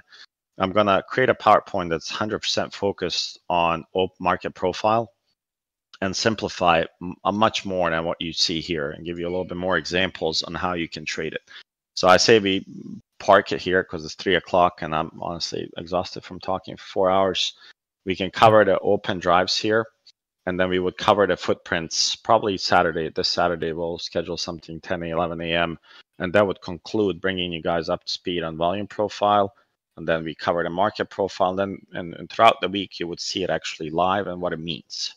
And you start putting the puzzle and pieces if you're new together. And then Saturday we'll conclude with the footprint charts. We'll share the Quantower. I had it ready, but um, uh, I guess we just had a little bit of discussions, right? That took a little bit longer and we'll cover the footprints. We'll cover we cover the volume profile and the market profile. And then you'll have the three components and what we use uh, in the Discord. And then of course we reiterate some of the other stuff as well. So I say let's stop here. Uh, if you guys can, kind of if you have questions, ask me, send me, or in the chat if others can benefit from it. And then let's get ready for next session on Saturday to complete the footprint charts, which will give you guys the order flows, the deltas, and then you know how do you know this level of volume profile or how did you know that 4700 was going to come out and people are going to come out firing you're able to see some footprints completed auctions the, the aggression of the buyers kind of the x-ray of the candles once you combine those pieces it really creates i would say a powerful combo in trading and then i'll show you guys on Quantower how i use the delta charts instead of volume profile to know where the liquidity uh, resides in the intraday levels as well. So that's what I will focus on next class, and probably sometimes this week, maybe even tomorrow night, we do a stock search scan uh, for Q1. How's that? Anyone? Any objections? That sounds good. Sounds awesome. Sounds Okay. All Sounds right, guys. Well, thank you guys for the time. Hopefully, you guys picked up something, and I'll see you guys. Um, I'll probably do a nine tonight just to prep for the market because I didn't prepare anything yet. Uh, let's do 9 p.m. prep for the market, 15 minutes uh, for the rest of the week. Uh, and then let's go from there. And Monday, tomorrow, we can do a stock search, 30 minutes. We'll find the stocks for portfolio long term. Thank you, Shorty. All righty. Have a good one. See you guys. Thank you, George. Thank Thank you, you. buddy. Thanks, Jordy. Bye bye.